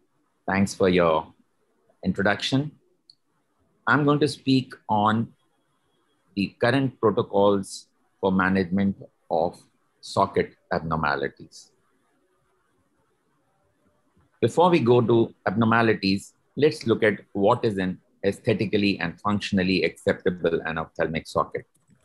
You need an adequate epithelium-lined, healthy epithelium-lined socket, eyelids of normal length, appearance, and tone, and an implant which is well centered. You also need to have a well-fitted prosthesis, there being no volume loss or enophthalmos or sulcus deformity, and the prosthesis should transmit the motility well to give an aesthetic appearance of good quality. Now let's look at the abnormalities of the anophthalmic socket. Literature research, uh, literature uh, search shows us that some of the common problems are those related to symptoms of secretions, infections, foreign body reactions, or even pain. The other problems include conjunctival cysts and ptosis of the upper lid is a common problem, almost one tenth to one fourth of the cases.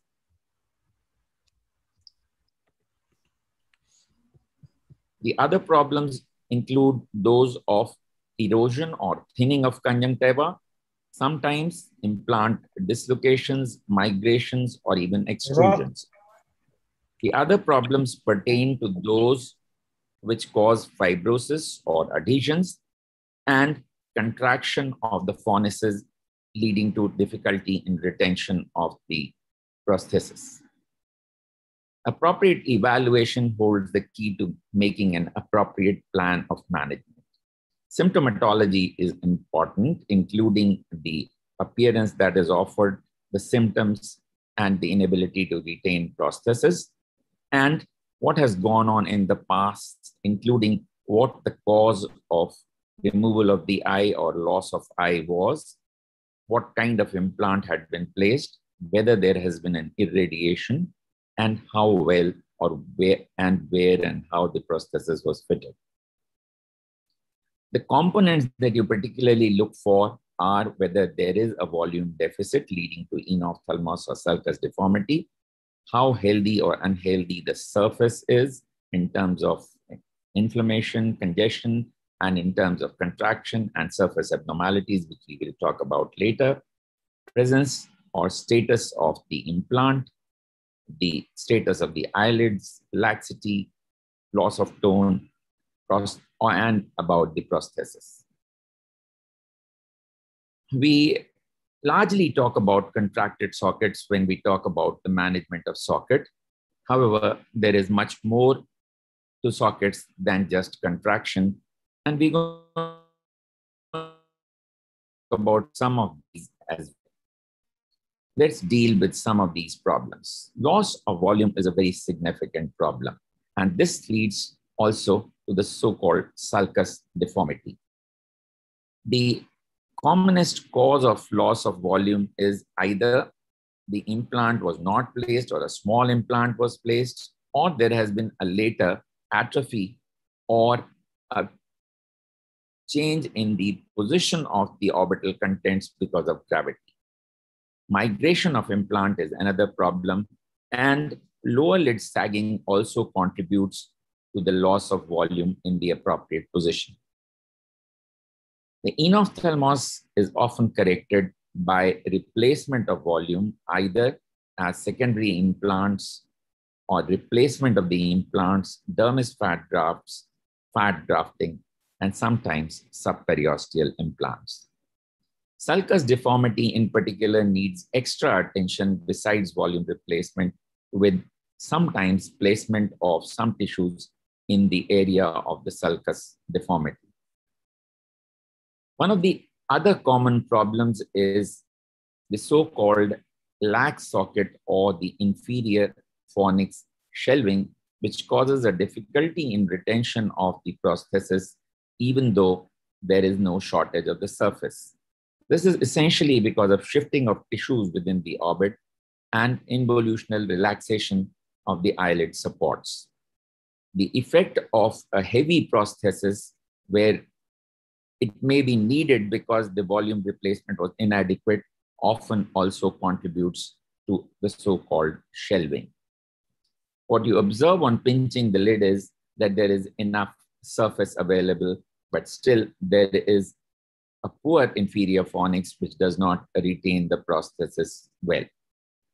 Many of these cases would do well just with eyelid tightening, but you need to form inferior fornix in most of the people, either without creating an incision and opening up or opening it up to create a raw area for the adhesions to form when you want to form your inferior fornix. So the lateral tarsal strip procedure is the commonest procedure that is done for tightening, but fornix forming sutures either by looking at the appropriate position for creating the fornix, you would put your conformer in, identify the position from where the fornix needs to be formed, and create adhesions with the uh, inferior periosteum, periorbita, and periosteum to create the fornix and tie it over bolsters which are retained for a couple of weeks. But addition of a lateral incision to make this area raw and using a scissors to dissect up to the margin and up to the orbital margin adds to the efficacy of this procedure by creating a raw area where and I, we identify the position where the inferior fornix needs to be formed and placement of the sutures after that becomes more effective. An example is a shell fornix here with upward displaced prosthesis, where fornix forming sutures by open method did help us to retain the prosthesis well. Implant extrusions and exposures are another problem, and hydroxyapatite has been one material which has contributed a lot to the exposures, and that's the reason why it has become less possible, uh, less uh, popular. Some of the earlier implants, such as the Allens or other implants which were non-spherical, had a much higher rate of extrusion. And this extrusion could be early related to surgical factors or late due to late fibrous contractions. The implants when they were partially extruded could be removed and replaced either as primary or secondary procedures if there was infection at the time of primary surgery. But exposure of hydroxyapatite problem uh, implants has been a more difficult problem. Sometimes they can be treated conservatively, and for infected cases, you need to wait till the infection settles, and then you can usually do a trimming of the exposed implant and place a scleral or a fascia lata graft. We've done a trimming here and tried to place a scleral graft in position. You try and bury the scleral graft under the tissue of conjunctiva so that it can get epithelialized and covered over by conjunctival tissue in the due course of time. But it doesn't always work. Sometimes you get inclusion cysts in conjunctiva and granulation tissues due to chronic irritation or sometimes due to an ill-fitting prosthesis are some of the other problems. And these often need to be excised to get a healthy surface. Otherwise, they lead to considerable discharge and scarring. Scarring may lead to symblepharon or fibrous band formation, and sometimes the procedures which can cause a reorientation of the tissue may work. But in other cases, you may require a graft. So a fibrous band like this with a unit with a direction of contraction can sometimes be amenable to a Z-plasty with reorientation of the tissues combined with a, a lateral canthal tightening, you are able to create enough surface sometimes to retain a good prosthesis uh, without having to resort to a mucous membrane graft in presence of so much scarring. But contracted sockets are by far uh, much more common problems with severity varying from mild to moderate to severe. Early socket contraction is often related to the cause of the initial loss of the eye or to the surgery or to use of radiation. And absence of use of conformers or prosthesis in the early postoperative period or use of poorly fitting or rough prosthesis. Whereas the late socket contraction is often the result of chronic inflammation or non-use of processes for long periods of time. Mild socket contractions usually would only result in some problems in the position, drooping, non inability to close the eye or an entropion, and these may sometimes be managed by smaller measures like tarsal rotation procedures. But those which are uh, more severe amongst these may require some mucous membrane grafting. Moderate contracted sockets show contraction both of inferior, superior, or both fornices, with the greater impact being the shortage of the inferior fornix. These result in enophthalmos with posteriorly displaced prosthesis, as you can see, poor motility, loss of normal lid fold, persistent discharge and irritation, and inability to retain the prosthesis. So this is an example of a moderately contracted socket which shows up many of the difficulties we've spoken about. Sometimes a modification of the prosthesis works, but most cases do require a surgical management with moderate contraction. And mucous membrane grafting has been the go-to procedure in most cases. We use the buccal or lip mucosa most often, and fornix formation in these cases is critical. Excision of the scar is important, and immediate placement of conformer is important. An example is this, where we make a horizontal incision from one uh, canthus to the other, carry out an adequate dissection extending up to the bony margin as well as up to the eyelid margin to create an adequate area for graft placement. And I prefer to take a reasonably large graft, much larger than what uh, the defect is at the moment, and place the excess by uh, spreading it out evenly. So graft is sutured in position. It is important to create the fornices by fornix forming sutures and place the conformer at the end. Previously operated ones present much more difficulty, much more fibrosis, and you may need to take graft from another location because the lip has been used earlier. So we're using the mucosa from the cheek here. And at the end of the procedure, you can get adequate volume to be able to place a prosthesis, even though motility may not be extremely good. Amniotic membrane gra grafting has been used, but remember that it is only a substrate and not a substitute and work in a limited way. Results have been good in some series, but there have been some problems in other series. If there is a loss of volume associated with contracted socket, dermis fat grafting offers a good alternative and harvesting from the lateral aspect of the buttock with enough volume of, of, of the fat works well in many cases with results that can be gratifying, although you need a good vascular bed and cases with previous radiation or extensive scarring may sometimes not take up. Severe cases may be extremely difficult where you sometimes you are left just with a slit. And mucosa may not suffice, even though that may be desirable in a wet socket. But those with a dry socket, split thickness skin grafts sometimes are able to provide you that space to put in a prosthesis. This was a girl with retinoblastoma who had a grossly contracted socket a smaller bony socket as well following irradiation and an epidermal graft was able to give her some kind of a socket to retain a prosthesis. She's recently undergone a formation of the lateral fornix as well. I still don't have the photographs. Some of the desperate cases, you can use flaps with intact vascular supply and amongst other areas, a radial artery forearm flaps have been used. I have no personal experience with these.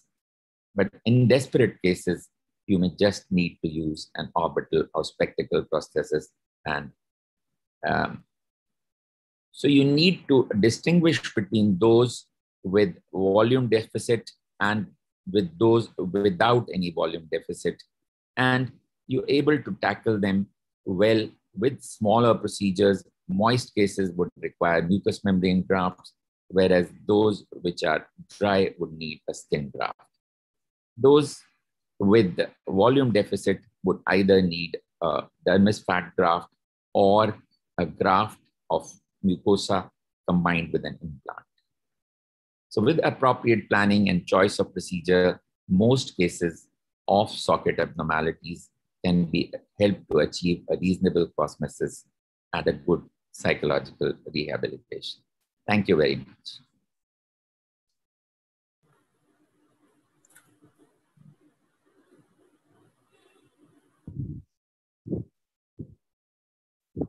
Thank you, Dr. Grover. Very nice detailed lecture. Ganga, do you have any quick comments? Nothing at all. Only comment is I know the membership in OPAI has been growing because the people you all trained over the years. With now good oculoplastic surgeons around the country, over the past 10, 15 years, have you seen a reduced incidence of these contracted sockets? Yeah, the way they do enucleation has improved and the use of implants, primary implants of adequate size. So all that has contributed, I suppose. So have you seen a reduced incidence, Dr. Uh, Grover?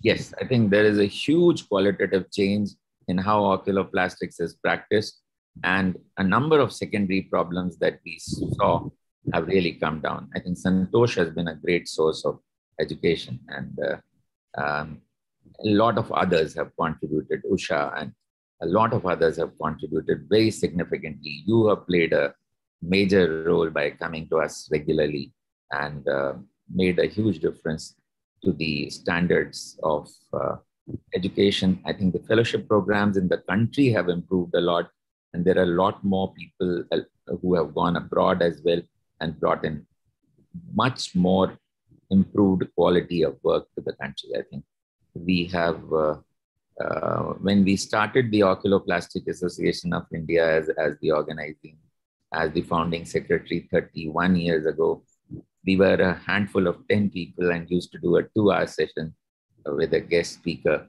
And today we hold sessions where there are so many good speakers that you can hardly accommodate more than one talk for anybody else.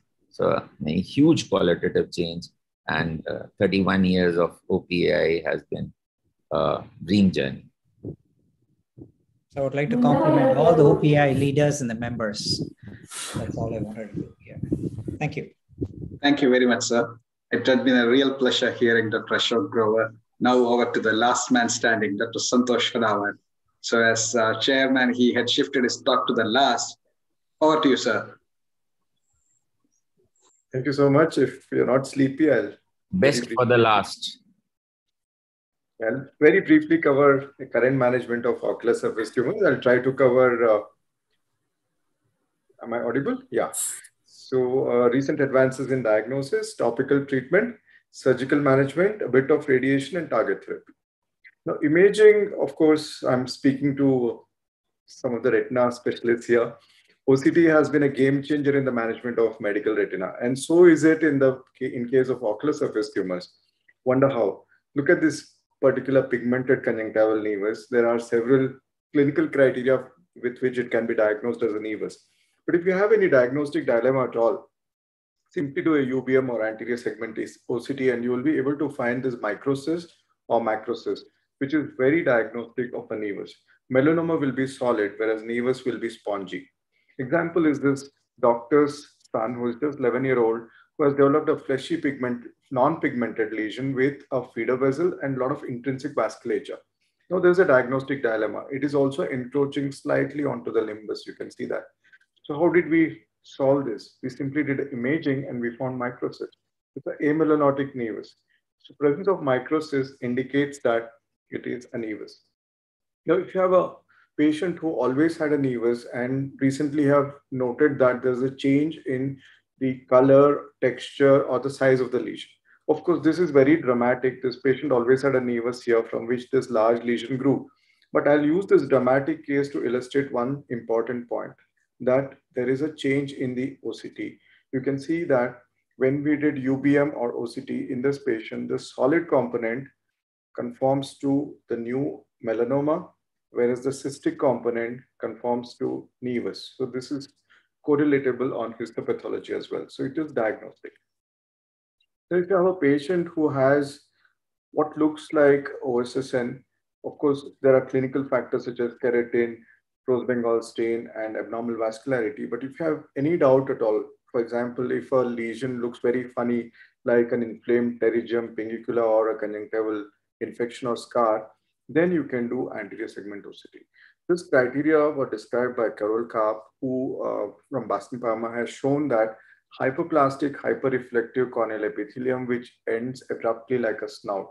This is the normal corneal epithelium, which is grayish. This is hypoplastic and hyperreflective, and it's abruptly ending with a snout that is diagnostic of OSSN. So you can know the depth of the lesion as well. For example, this patient has tenons spared, so your plane of dissection can simply be subtenons. You know the level of the lesion before doing surgery. Illustrated in this patient where there is corneal and you can see that the stroma is thickened in this area, whereas this is the normal stroma. So surgery will not help this patient, just excision. He'll need a keratoplasty or plaque brachytherapy. Patients who have anterior segment extension, such as to the iris angle and the ciliary body can be diagnosed preoperatively with anterior segment imaging. And add to that, we have invaded the territory of ret retinal specialists a bit more by using OCT angiography for conjunctival anal vasculature analysis. This may help, uh, you know, predict the area of local tumor recurrence, especially when we use topical therapy instead of, uh, say, radical surgery. Now, going on to topical therapy itself, there are chemotherapeutic agents, mitomycin 5-FU or chemotherapeutic agents. But what we now have is a very gentle immunotherapy that is interferon. Let's look at some of the indications. Before that, the cost, of course, I want to stress that 5-FU is least expensive.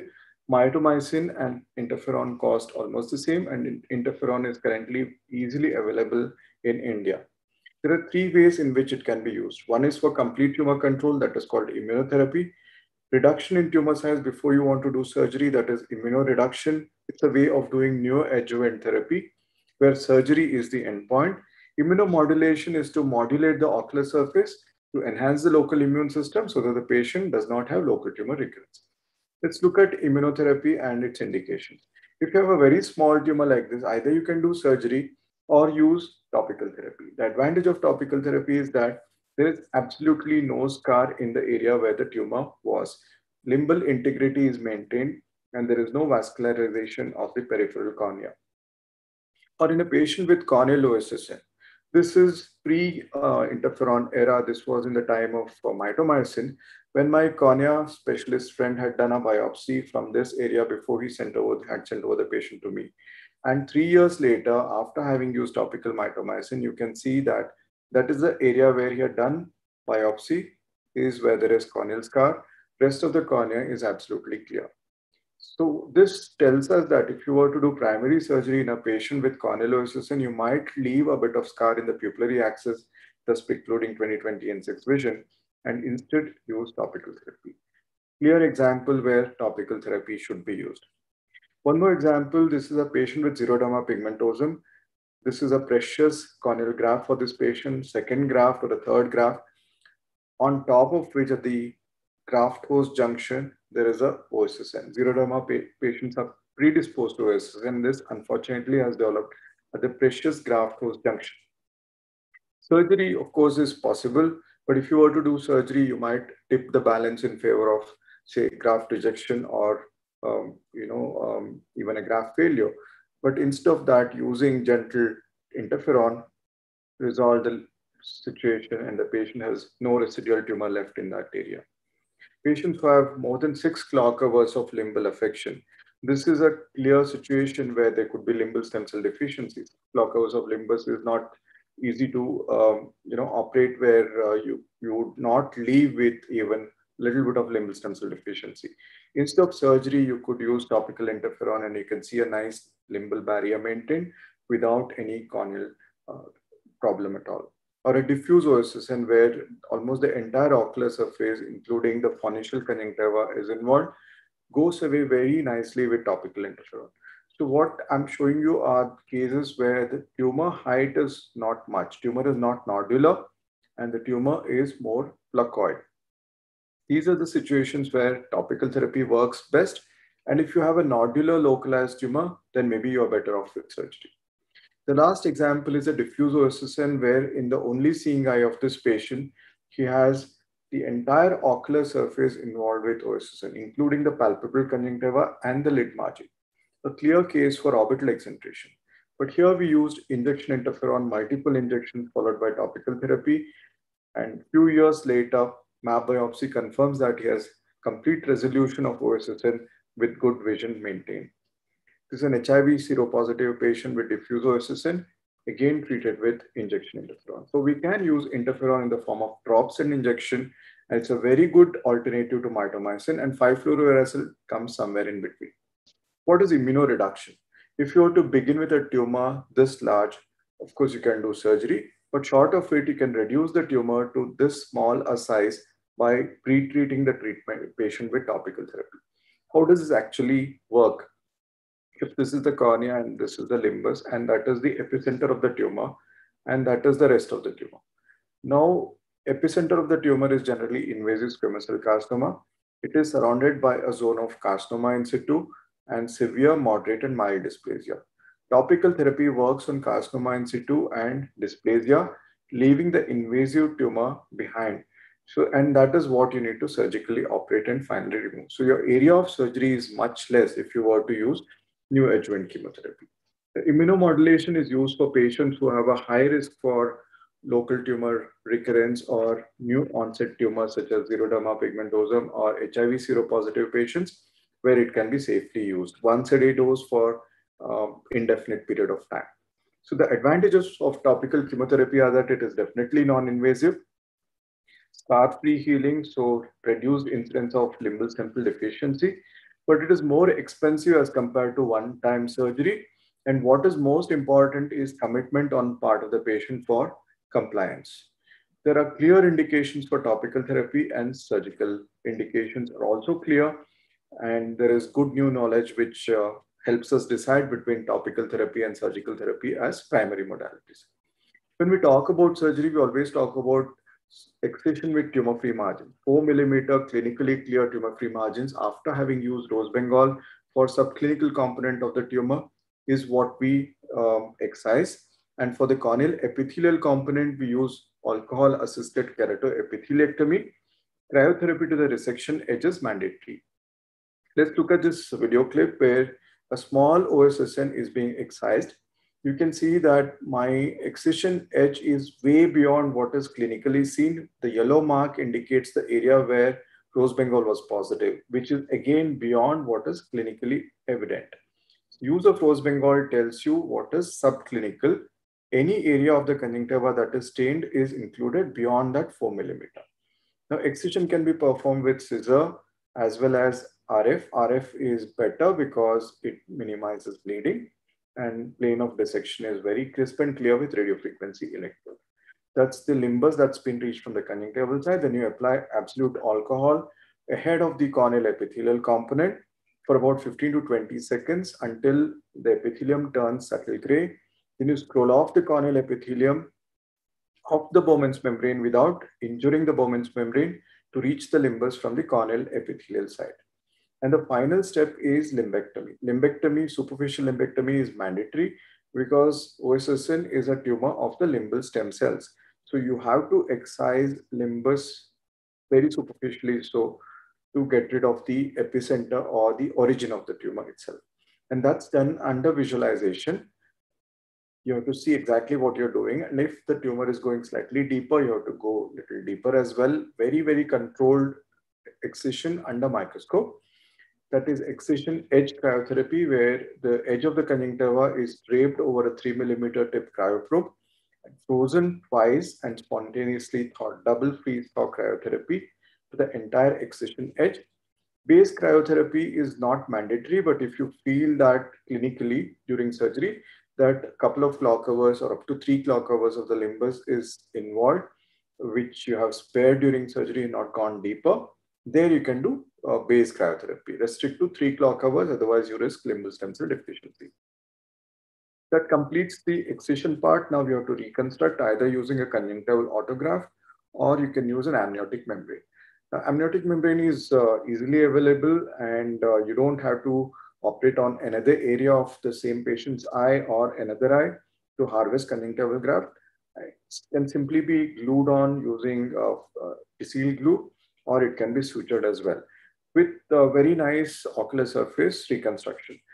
So you don't have to worry about uh, complications such as limbal stem cell deficiency. As you see here, six clock hours of tumor excised, yet there is no limbal stem cell deficiency. And you can do OCT guided technique where OCT actually correlates with histopathology if you're not sure of the depth. If you have an extensive tumor where you fear that there might be limbal stem cell deficiency, a primary simple limbal epithelial transplantation actually helps this prevents the uh, occurrence of limbal stem cell deficiency and conjunctivalization of the cornea. Surgery remains an excellent option, but there are situations where you need to give adjuvant therapy following surgery.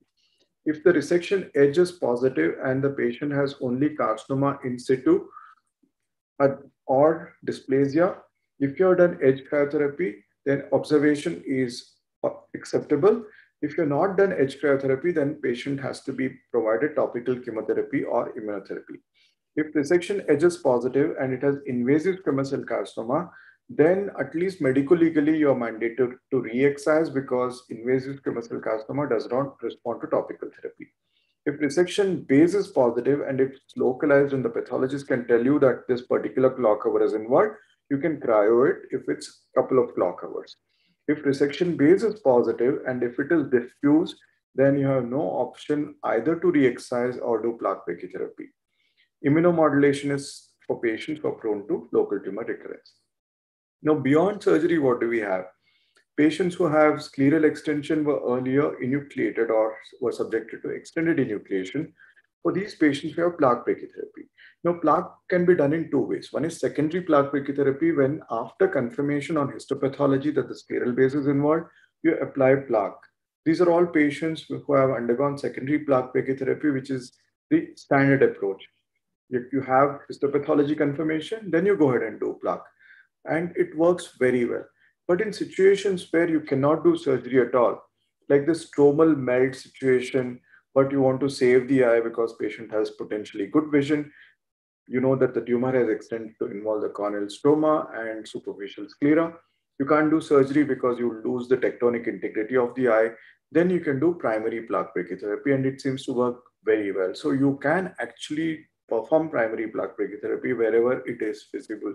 Patients who have corneal stromal invasion are clear indications for primary plaque brachytherapy either which case it gives uh, about 90% success in eye salvage.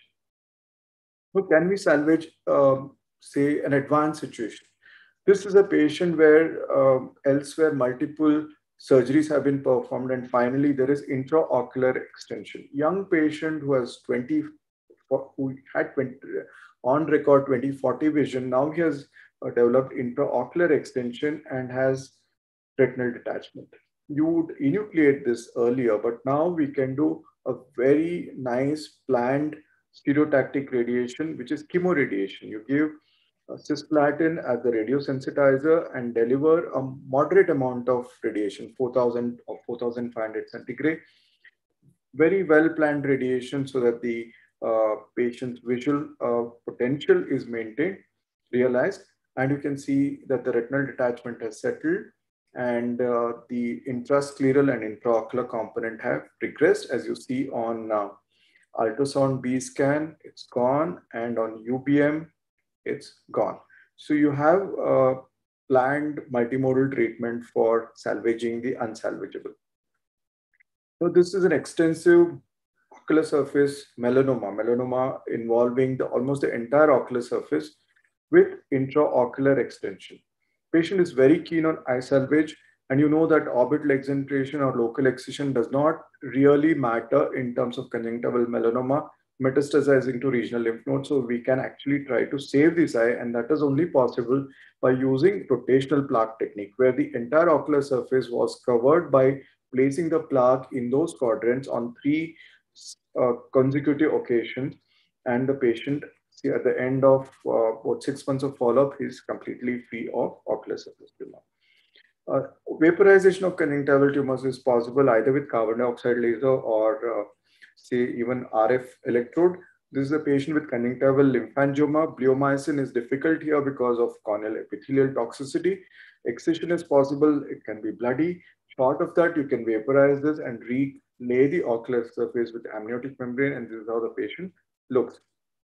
Is an extensive conjunctival lymphangioma, again treated with uh, RF assisted vaporization and uh, relaying of the ocular surface with amniotic membrane. Last bit is about the target therapy. Target therapy could be using uh, injections such as rituximab in patients with uh, lymphoma. This is a patient with lymphoma in the superior fornix, but you can also see that it is extending along the eye posteriorly. You can do radiation for the residual component. You can't go so far back uh, around the eye and excise it. So what we have done is excise the anterior component, which was safe to excise, and for the posterior component, we have given perilesional rituximab, 5 milligram per ml, six injections every three weekly, and it worked very well in this patient. For uh, conjunctival melanoma, we have the mutational spectrum entirely worked up. And for each specific mutation, we have target therapy. And uh, data is appearing in the literature about the use of pembrolizumab in patients who have regional lymph node metastasis nivolumab, and we had an experience with this patient who had regional lymph node metastasis for which he was given nivolumab, and he had ocular surface melanoma recurring as well. After three months of use of this target therapy, his ocular surface is cleared up completely. So there is a case for using target therapy. Of course, it's very expensive currently, but if it's made reasonable in terms of cost and it's made available, to use these as primary treatment instead of surgery for extensive lesions, which is the you know being explored at this point in time. So in conclusion, I would say that a lot of advances in the management of ocular surface tumors, including the diagnosis using anterior segment OCT and OCT angiography, target therapy, innovative use of radiation have shown much better outcomes. Thank you so much.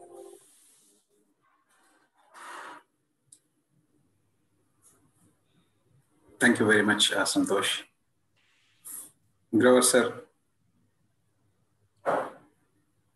As always, you're left speechless at the end of uh, Santosh's talk. It's presented so beautifully, and the kind of uh, pioneering work that he adds on, taking on the most difficult cases and uh, taking them to a level, taking treatment to a level which has not been achieved before. I think it's really an exceptional one. Thanks. Dr. Gopal, can, can I ask a question? Sure, please. So excellent presentation as always. So I have two questions for you. One is regarding, this is a common thing that, you know, as a general practitioner or a general ophthalmologist, regarding PAM, primary acquired melanosis. So when would you uh, plan to treat or intervene? and what would you what would be the best intervention that you would consider for primary acquired melanosis if it's localized PAM, I would excise it one quadrant. If it is diffuse PAM, I would do a map biopsy and see if there is any cellular atypia. If the patient has cellular atypia, the first line of treatment, of course, is surgical excision of the entire lesion, if that is feasible. If that is not feasible, then you can excise what is possible to excise and rest of the areas you can do reverse cryotherapy, you can do peritomy and treat the conjunctiva from the bottom top.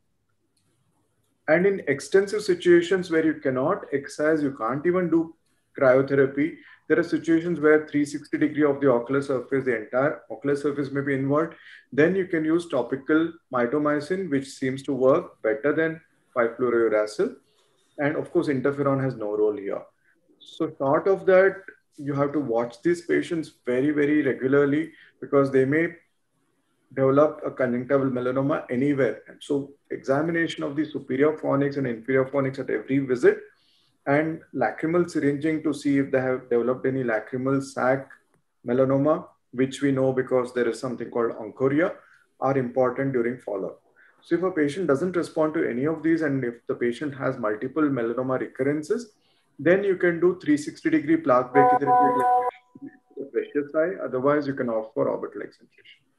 So would you excise even a localized one one clock hour PAM or you would uh, just kind of one clock hour, you know, it is okay to observe one clock hour PAM, but anything more than that, every clock hour adds to risk. That you know, 1.7 times is the odds ratio for every clock hour extent of the lesion. Mm-hmm. So one clock hour you can opt to observe, but I would even excise that, you know, if a patient is not reliable for follow-up. Mm-hmm. Right. So mm-hmm. anything more than one clock hour is a definite indication for excision. Okay. All right. And so, what is your experience with uh, posterior lamellar resection in case of diffuse OSSN? Would you even consider that? But well, we have interferon and you've shown excellent results with it. But yeah. have you had landed up doing that? Posterior lamellar excision is okay for one of the lids. If you have both the lids involved, then it becomes very challenging to reconstruct. You can do it but I would do that for one one lid, upper or lower posterior lamellar excision. Or if, if you need posterior lamellar excision for both the lids, then you'd have to stage it. So I would exhaust all other options before I try that.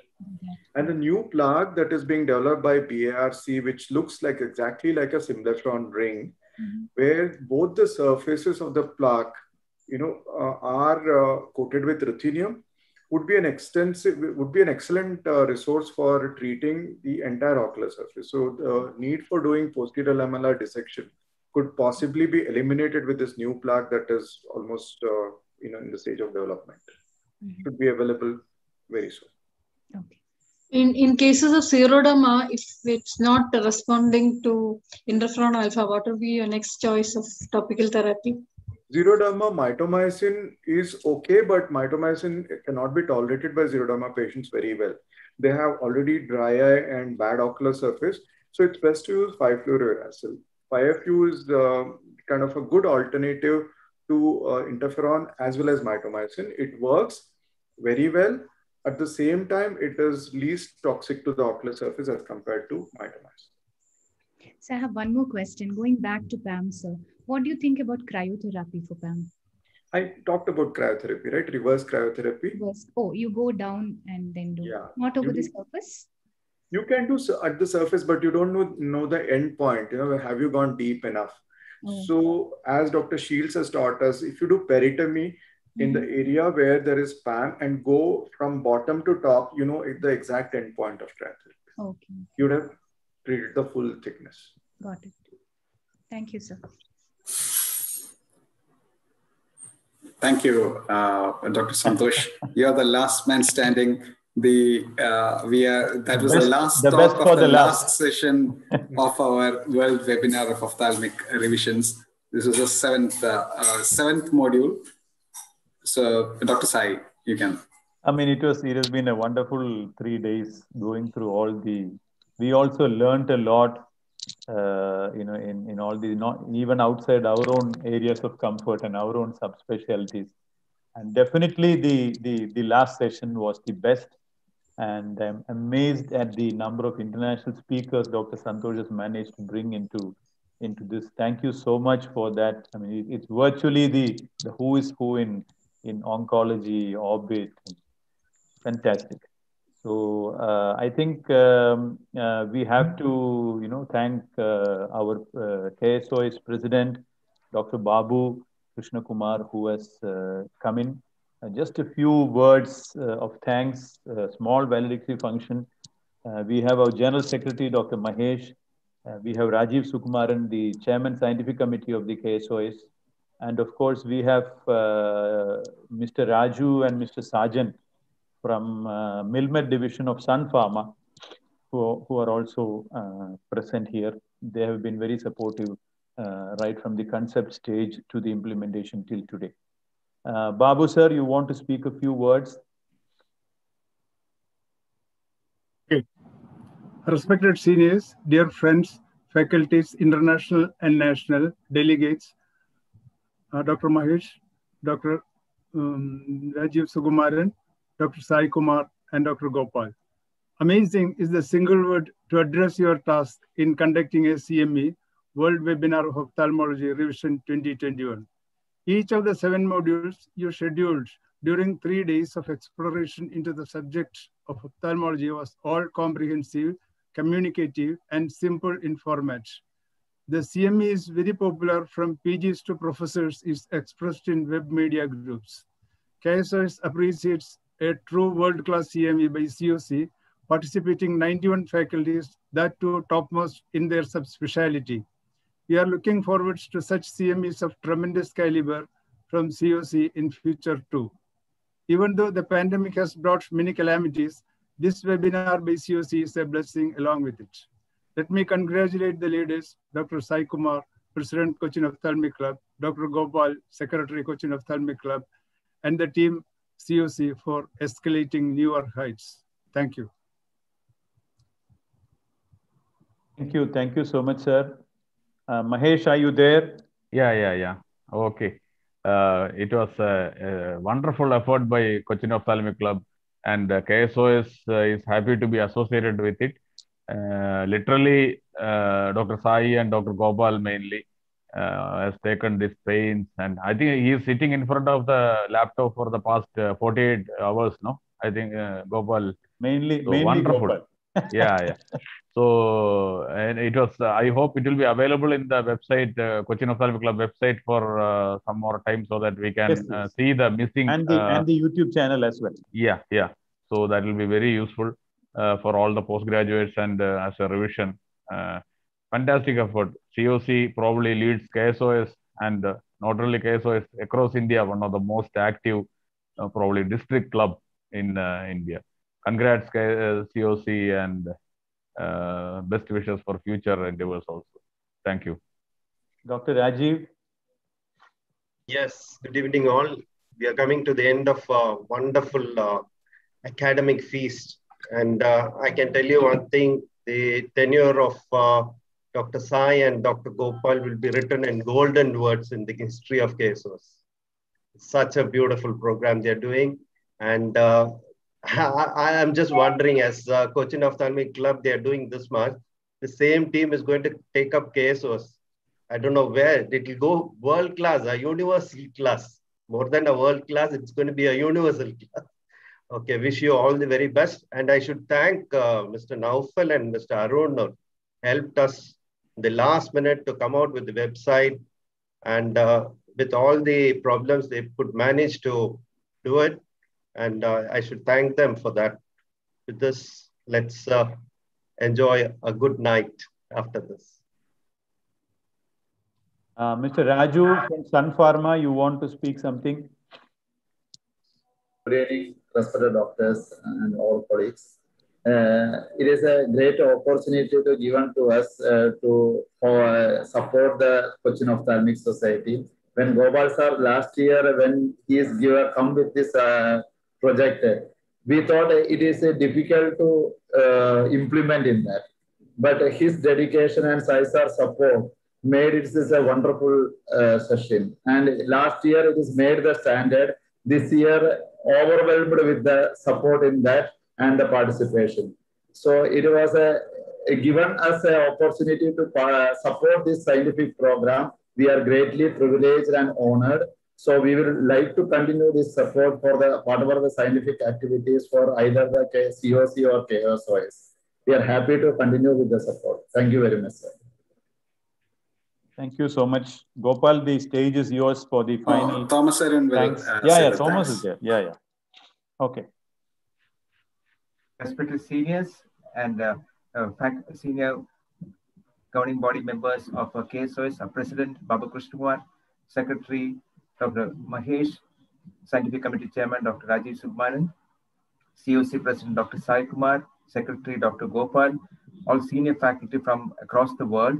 It has been a real treat Um, and uh, you can just imagine the amount of work that has gone behind it. And it's, it is purely Dr. Sai and Dr. Gopal who have worked out for, uh, for months really planning, planning this. And uh, I'm sure the, all the few, all ophthalmologists and also postgraduate students will benefit going through this as, as Dr. Sai said, the who's who of ophthalmology, who have in each specialty, they have really enlightened us. And uh, I, even though I practice glaucoma and neurophthalmology, I do uh, uh, work as a comprehensive ophthalmologist. And really, it has been a real learning experience. And I thank you all for kind of taking the time, especially from different parts of the world at awkward hours, and, uh, and, and enlightening us over the last two and a half days. Thank you. So thank you all. It had been a tremendous, the winner is ophthalmology and all the comprehensive ophthalmologists. And I thank my postgraduates who have actually helped me run this program and uh, uh, really appreciate all the hard work. Thank you what very is, much. What is the number of uh, YouTube uh, views Total so about 8,000 viewers have seen the whole program altogether. Uh, I so hope I hope it will. I mean, the Increase. coming weeks it will it will definitely increase. Yeah, yeah. Congratulations for all the hard work. I'm you. sure there has been a lot of efforts behind this. Teachers, Sai and Gopal. Wonderful work. Thank you, sir. Thank you so much.